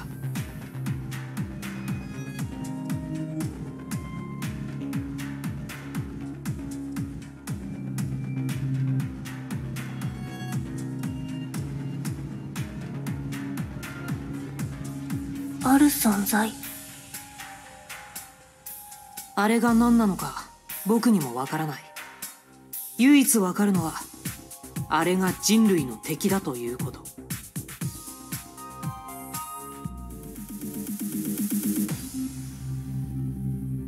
ベルトが僕を漁師の海から逃がす時彼は残ることを選んだ。あの未知の敵と戦い続けると。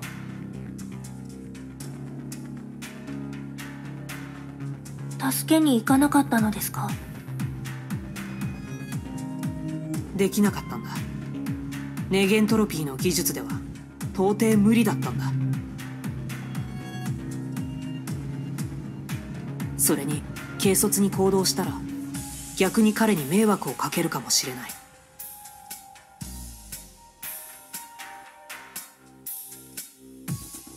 ブローニャどうして急にこんなことを聞いたんだい？いえ理由はありません。少し気になっただけです。漁師の海に幻想を抱くのはやめた方がいい僕たちが軽々しく手を出していい場所ではないんだ。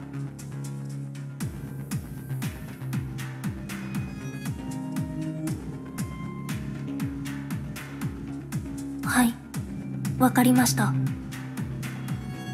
デザイアジェムの特定も終わったんだ。今夜はゆっくり休もう。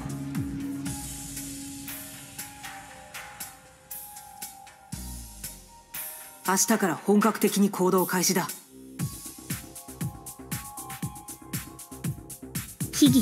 準備完了。指示を。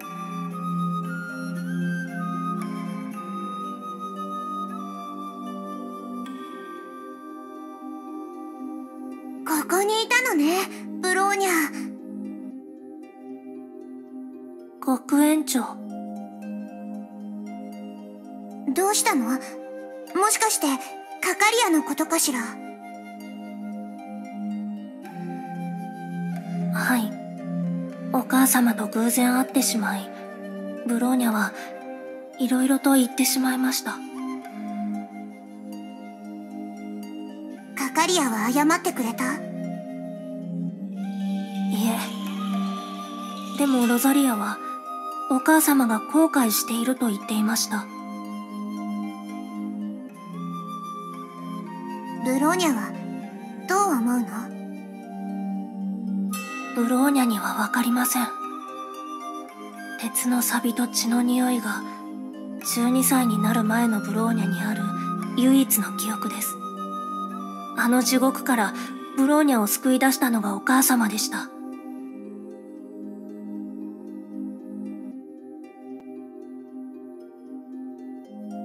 家族友達愛情ブローニャが欲しかったものは全てお母様がくれました。孤児院にいた2年間。あそこは永遠に変わることのない自分の家だとブローニャは信じていたのです。ですがひどいことをされた。律者がお母様にとってどれほど大事なのかブローニャは理解しています。お母様は律者を作り出すこと捕獲することに犠牲を惜しみません。ただそれは孤児院にいる全ての子供たちを生かすためです。分かってはいるのです。でもそれでもブローニャはウェンディとメイ姉様を傷つけたくありませんでした。何も間違えてなんていない。ブローニャの選択は正しいことよ。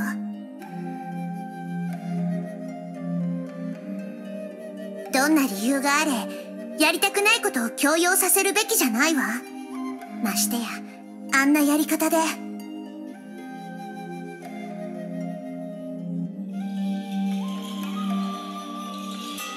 ブローニャは過去にお母様からいただいた愛情を否定しようとは思いません。ですがお母様がしたことは許せないのです。ブローニャはお母様とどう向き合うべきなのでしょう？カカリアの子供に対する愛情は本物かもしれない。でも彼女は尊重こそが本物の愛だと理解していないのよ。子供は成長するものだって理解しなければいけないわ。尊重ですか。大人になってもね怯えたり迷ったり答えが見つからなかったりする時はあるわ。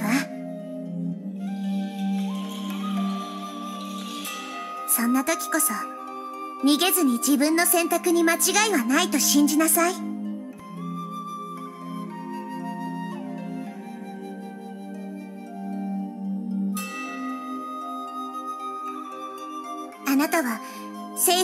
学園のトップにいる生徒。優秀なバルキリーで人類のために戦う戦士なの。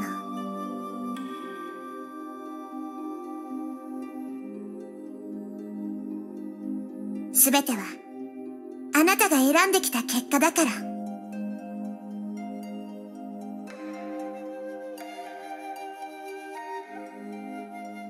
え？ブローニャ自分を信じなさい。なたはもう子供じゃないのよ。学園長にそういったことを言われるのはなんだか慣れませんね。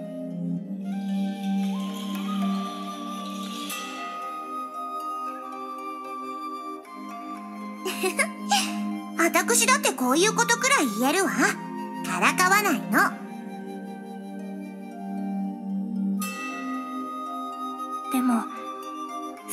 しました。ブローニャ頑張ってみます。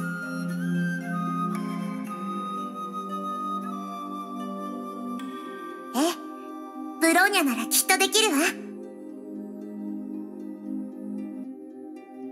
ありがとうございます。学園長。執行命敵のエネルギー消失。任務完了と判断しました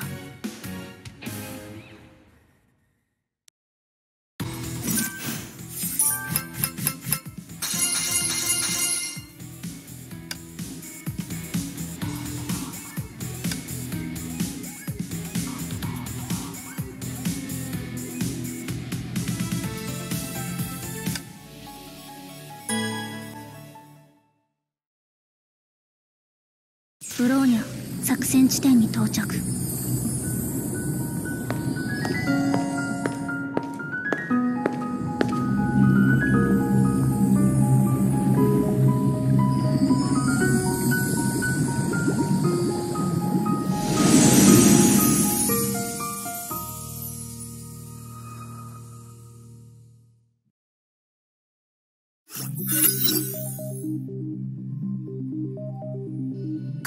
から異常なエネルギー反応を検出。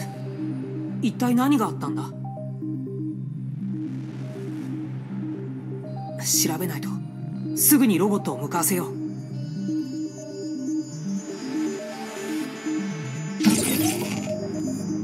ご用件は何でしょう？あ偵察のためにまずはスピーカーの音声をオフにしてくれ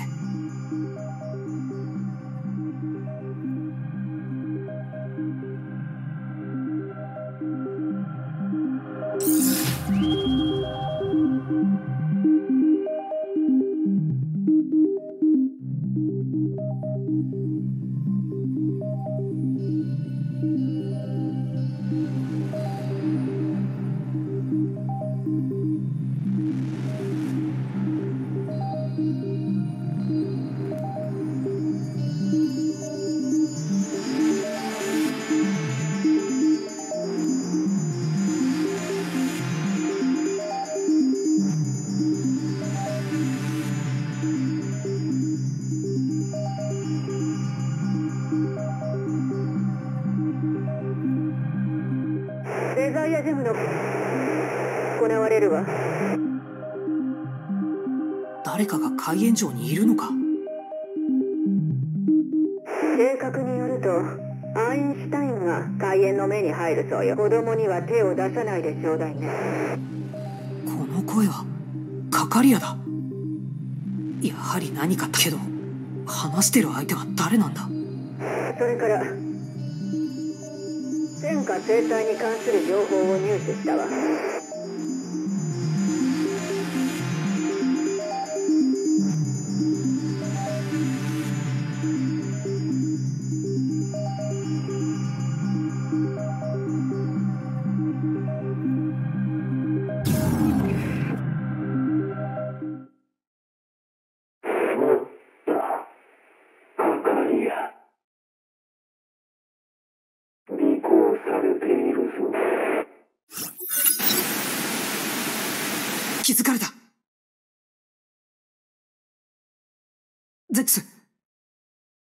反応がない。捕まったか。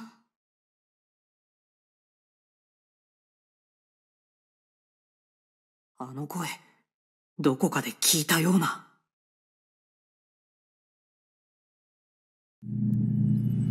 カカリアが何か企んでいる。早くテレサさんに教えなければ。えっ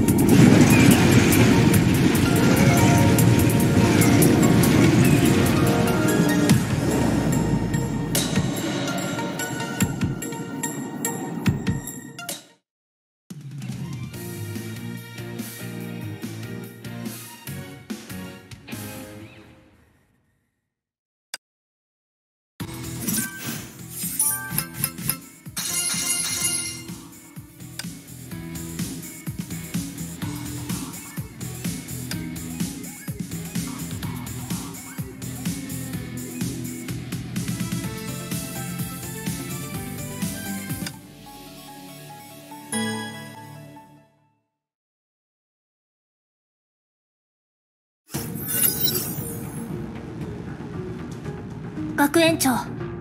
アインシュタイン博士がどこにもいません。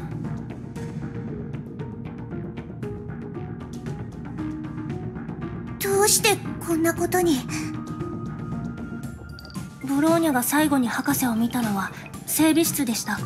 でも今は誰もいません。このメッセージだけがその場に残されていました。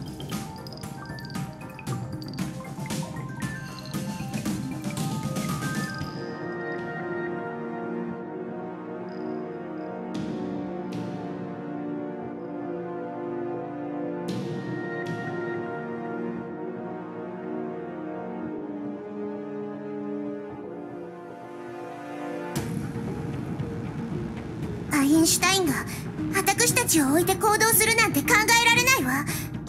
きっと何かあったのよ。学園長太平洋の底で激しい崩壊エネルギー反応を検出しました。この海域の崩壊獣が一斉に海炎上へと移動しています。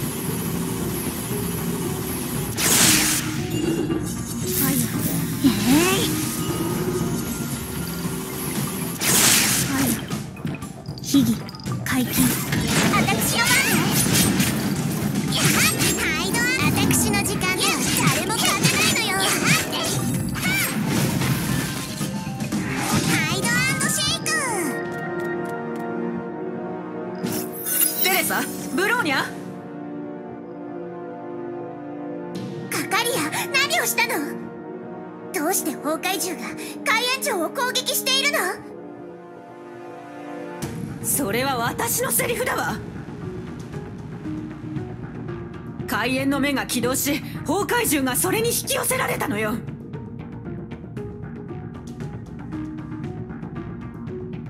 漁師の海の入り口が開放されたということですか？どいて海援長に入るわ。死にたいのなら勝手になさい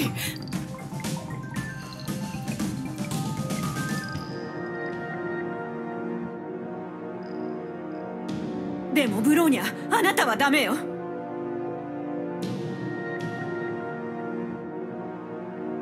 海縁の目が暴走した今数えきれない崩壊獣がここに向かっているわ。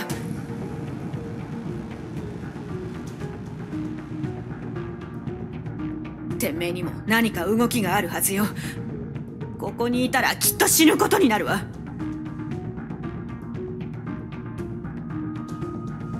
私は海援城を諦めることにしたの。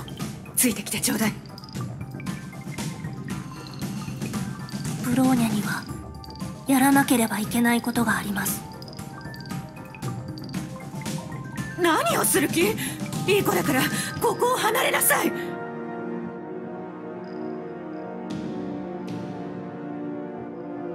ブローニャは拒否します。戦術機構あの子を止めて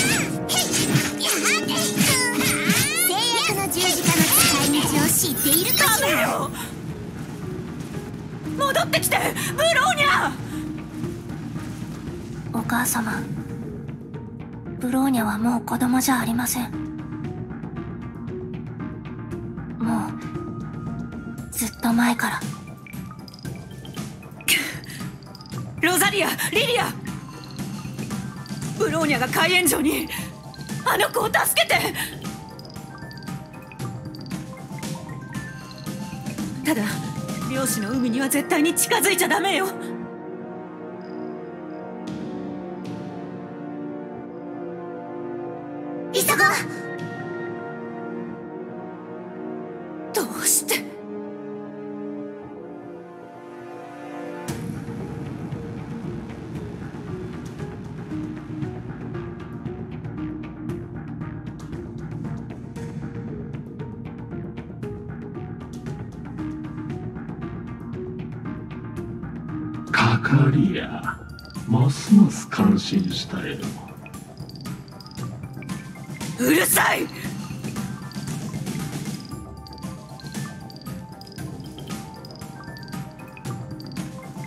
ざるを得ないな。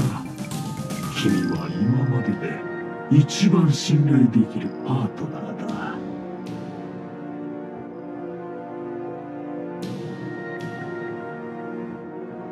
この短時間で挽回策を練ったこと。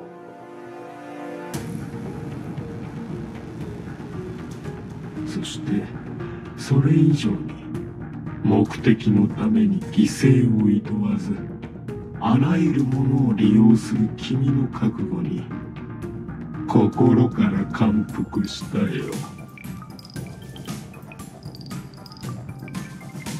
れた母親だな君は。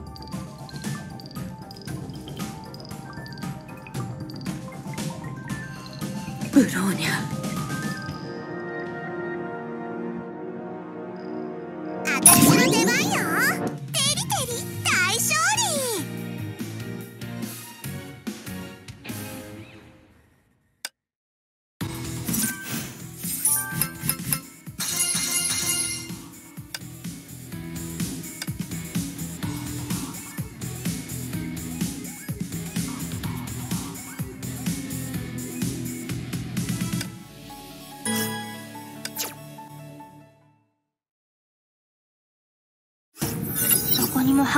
痕跡はありません。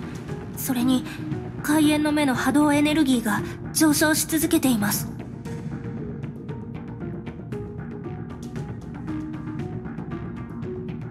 う崩壊獣が多すぎるわ。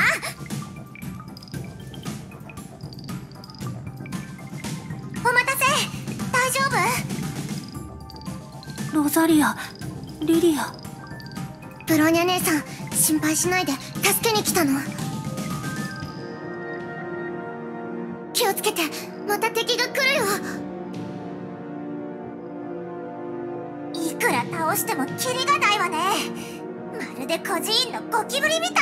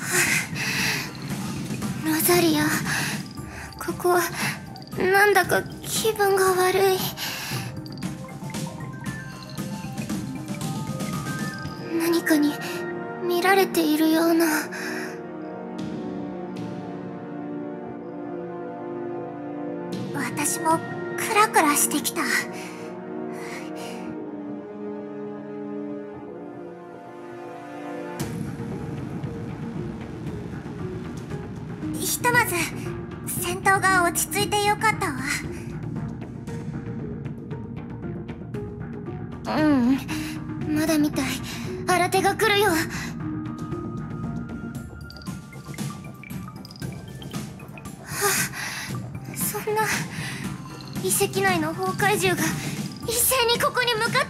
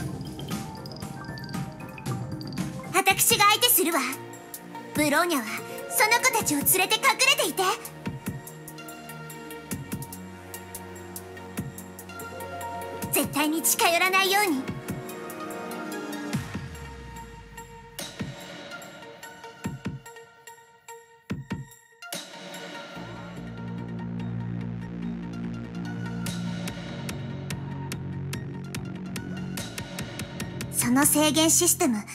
解除はできる？いつでも可能だ。テレサさんが覚悟できたらの話だけど。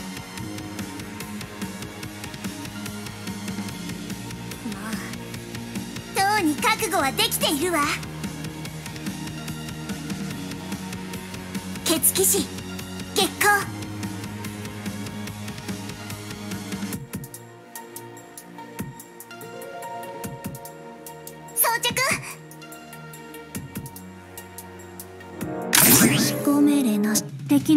消失。任務完了と判断しました。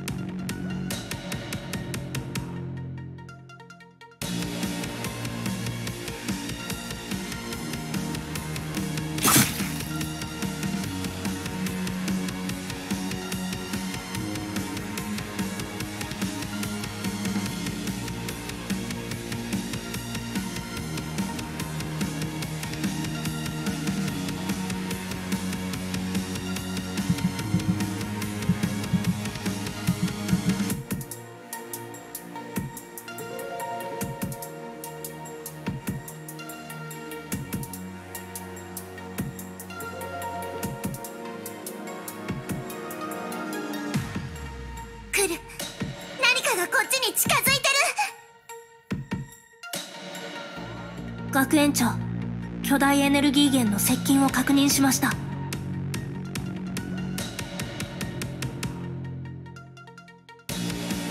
待って。これはそんなこの反応開炎の目から来ています。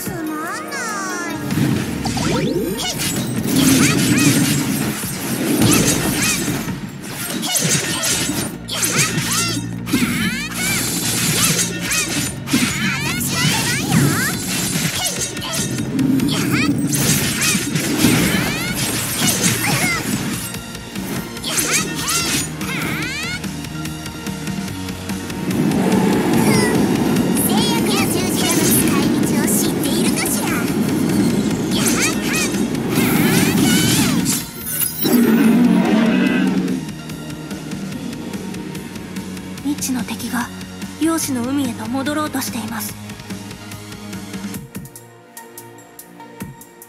待ってください。開炎の目のエネルギーが弱まっているようです。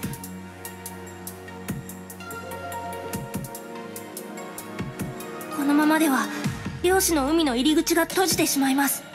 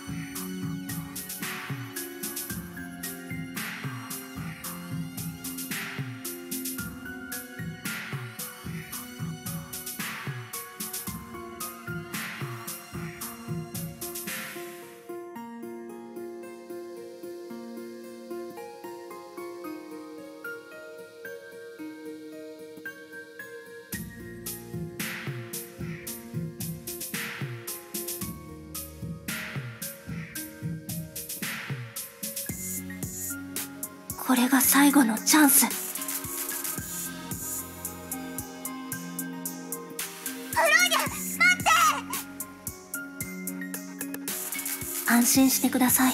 ロザリア。ブローニャは無事に帰ってきます。